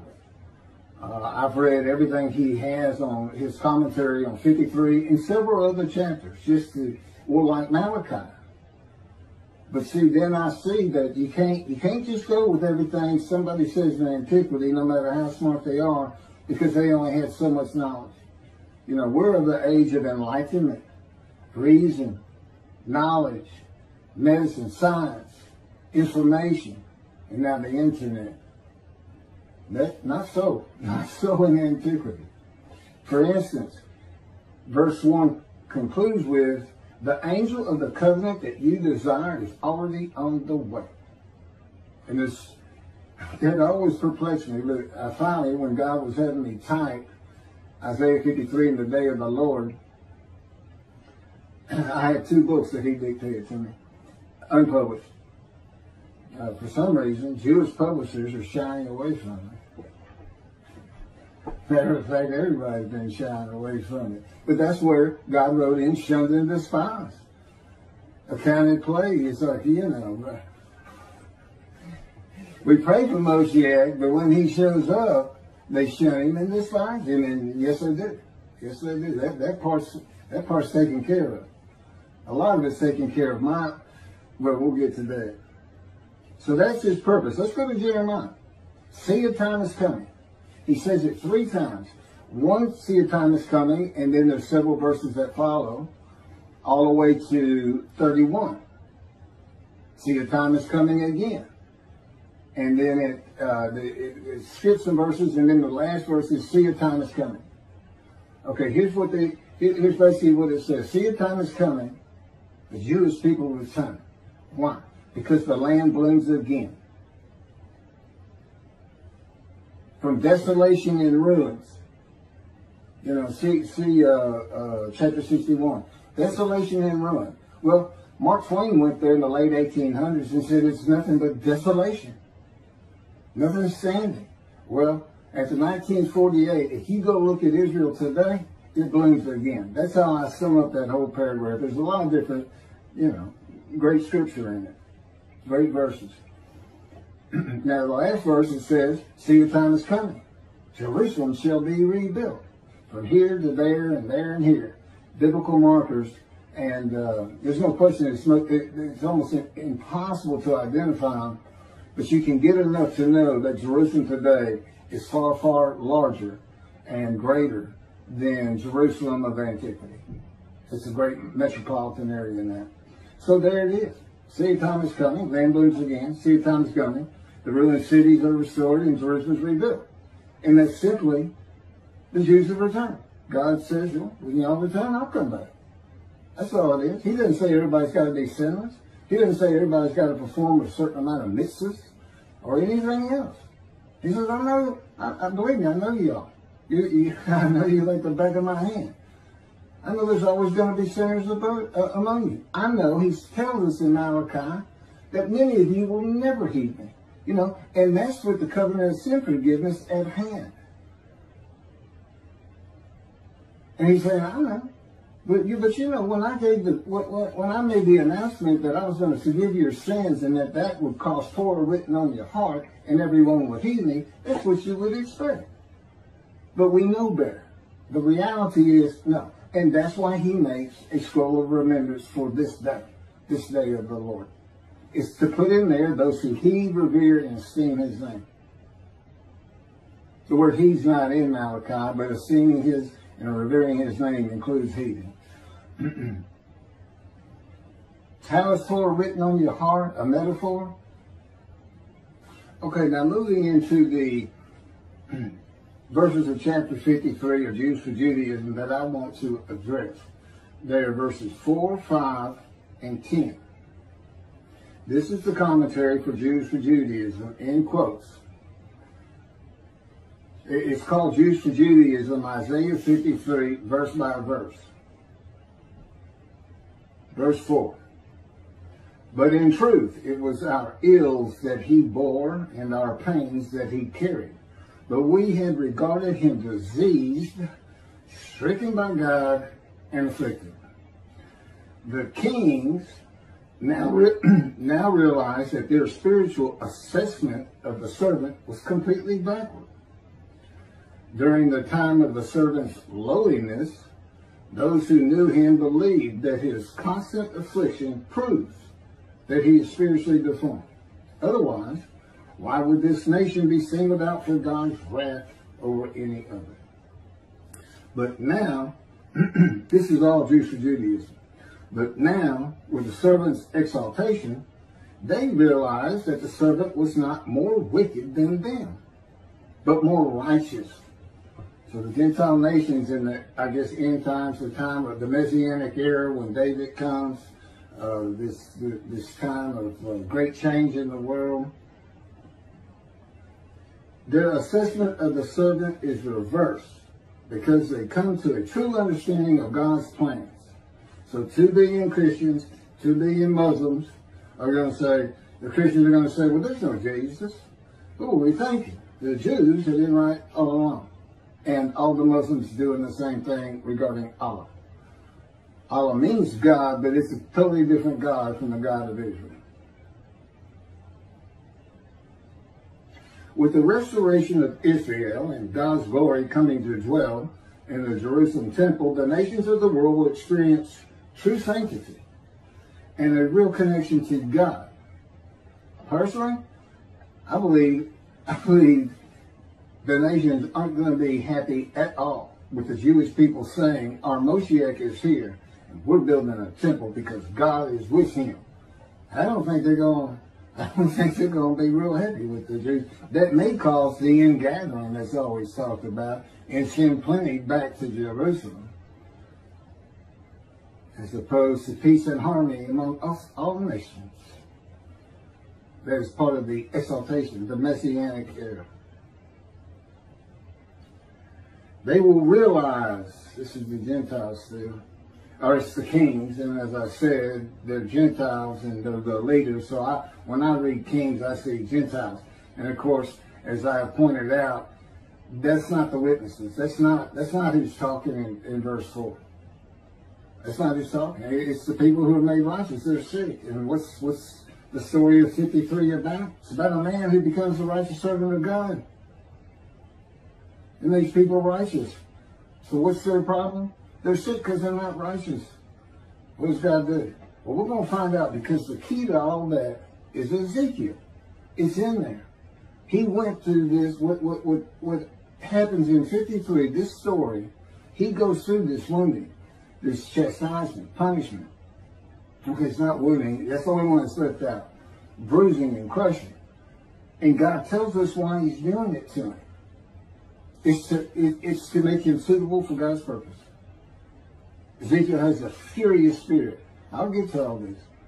Or I've gotten to in other videos. I don't know. God will take care of that. I, I don't have to worry about it. It'll all come out as it's supposed to. They will realize that many of their activities were actively preventing God's presence from being manifest in this world, even though they had considered considered many of these activities to be righteous and godly. So it's the Gentiles preventing God from coming. Really? Does anybody think they can keep God from coming? He made it clear in Jeremiah. When y'all return, when you when you fix my land back up, when you build me my house, I'll be there. And I'll come with the covenant of friendship. And I'm going to forgive all your sins. What is this everybody needs to be sinless? If everybody is practicing Judaism, going to Yom Kippur, and they're right standing with God, why do they have to be sinless? The covenant, the new covenant says, I forgive your. That's what the covenant is. It's an addition to the the first covenant with the Israelites. And there's an amendment to that in Malachi 3. The addition of sin forgiveness and the addition and the inclusion of an amendment with the confirmation, affirmation by God of you should be my people and I should be your God. Well, I mean, as long as you're mindful of the laws I gave Moses that order. That's that's that's the first covenant. It's only new because it's being changed up a little bit. That's it. It's not new. God has always been the God of the Jewish people. It never ended, and he's starting it over with the new covenant. That's not what it is. But anyway, he comes back with sin forgiveness. That's not an issue. You return, I'll come back. I'll bring covenant friendship, and I'm going to, uh, what, what, what ends up happening is all the remaining prophecies of the Hebrew model are fulfilled. And they're fulfilled with one man, God's righteous servant. Because he has the abilities and capabilities of those who are coming, those who have been prophesied to come, that don't have a description. You got four men coming, and only one description, the description of the righteous servant. Elijah's coming. He sends him in Malachi 3. That's Elijah. He, he shows up in verse 23. But he's the messenger. He's the man who has to recounsel son to the father, father to the son. Today, that's family members one to the other. And how does he do it? Well, the verse before that is, be mindful of the teachings I gave Moses, of all my laws and rules for Israel. Is that so? So Elijah's purpose is the same as the righteous servant. Make them righteous. Bring them back to Judaism. Well, that's what the righteous servant has to do. That's how he's going to make them righteous, and he's going to convince them because one, they're sin free. It says make them any righteous. Well, they're sin free, but they have to know. It has to be announced. How do you announce the covenant? Well, how'd you get the first covenant, Jewish people? Moses. God talked to a man, and he gave it to you. And as one man Israel, you accepted it.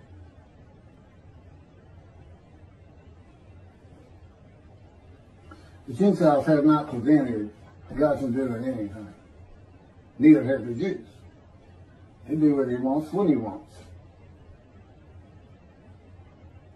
In order for God's presence to be revealed in this world, there needs to be obedience. This is Jewish Judaism still.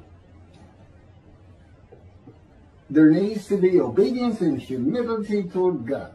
This obedience does not have to be perfect because God doesn't demand from his creations that which they cannot deliver, but it needs to be accepting of God's sovereignty to the degree that humans are capable. Since all of mankind benefits from God's presence being manifested in this world, it would be appropriate that all of mankind participate in the work of preparing a resting place for God's presence. The, the way that this sanctuary for God will be prepared would necessitate that mankind purify its collective heart. Well, wouldn't that be interesting? Does Moshiach have to do that? How does he get mankind to purify its collective heart? In order to build this dwelling place for God, mankind would need to strive to achieve humility toward God and to accept God's sovereignty. For the entirety of humanity, from the Chinese to the Russians to the Australians, every single human being, although not perfectly, has to strive to achieve humility toward God. Good luck, Moshe. That's what I would tell you. And I'm him. So, yeah. I'm a man about 753, and this is the 16th video by now. And this is the first time you've watched it, you need to go back and listen to the others. and the witnesses are, the witnesses are the Jewish people. They're the witnesses who need to be made righteous. That's why they're sick. That's why they're in verses 1 through 6 in quotes. That's what this story is about. Now, what are all these words for? What's all this punishment, everything else? Well, to find that in Ezekiel. It makes it real clear. So, purifying the hearts of the world. Okay.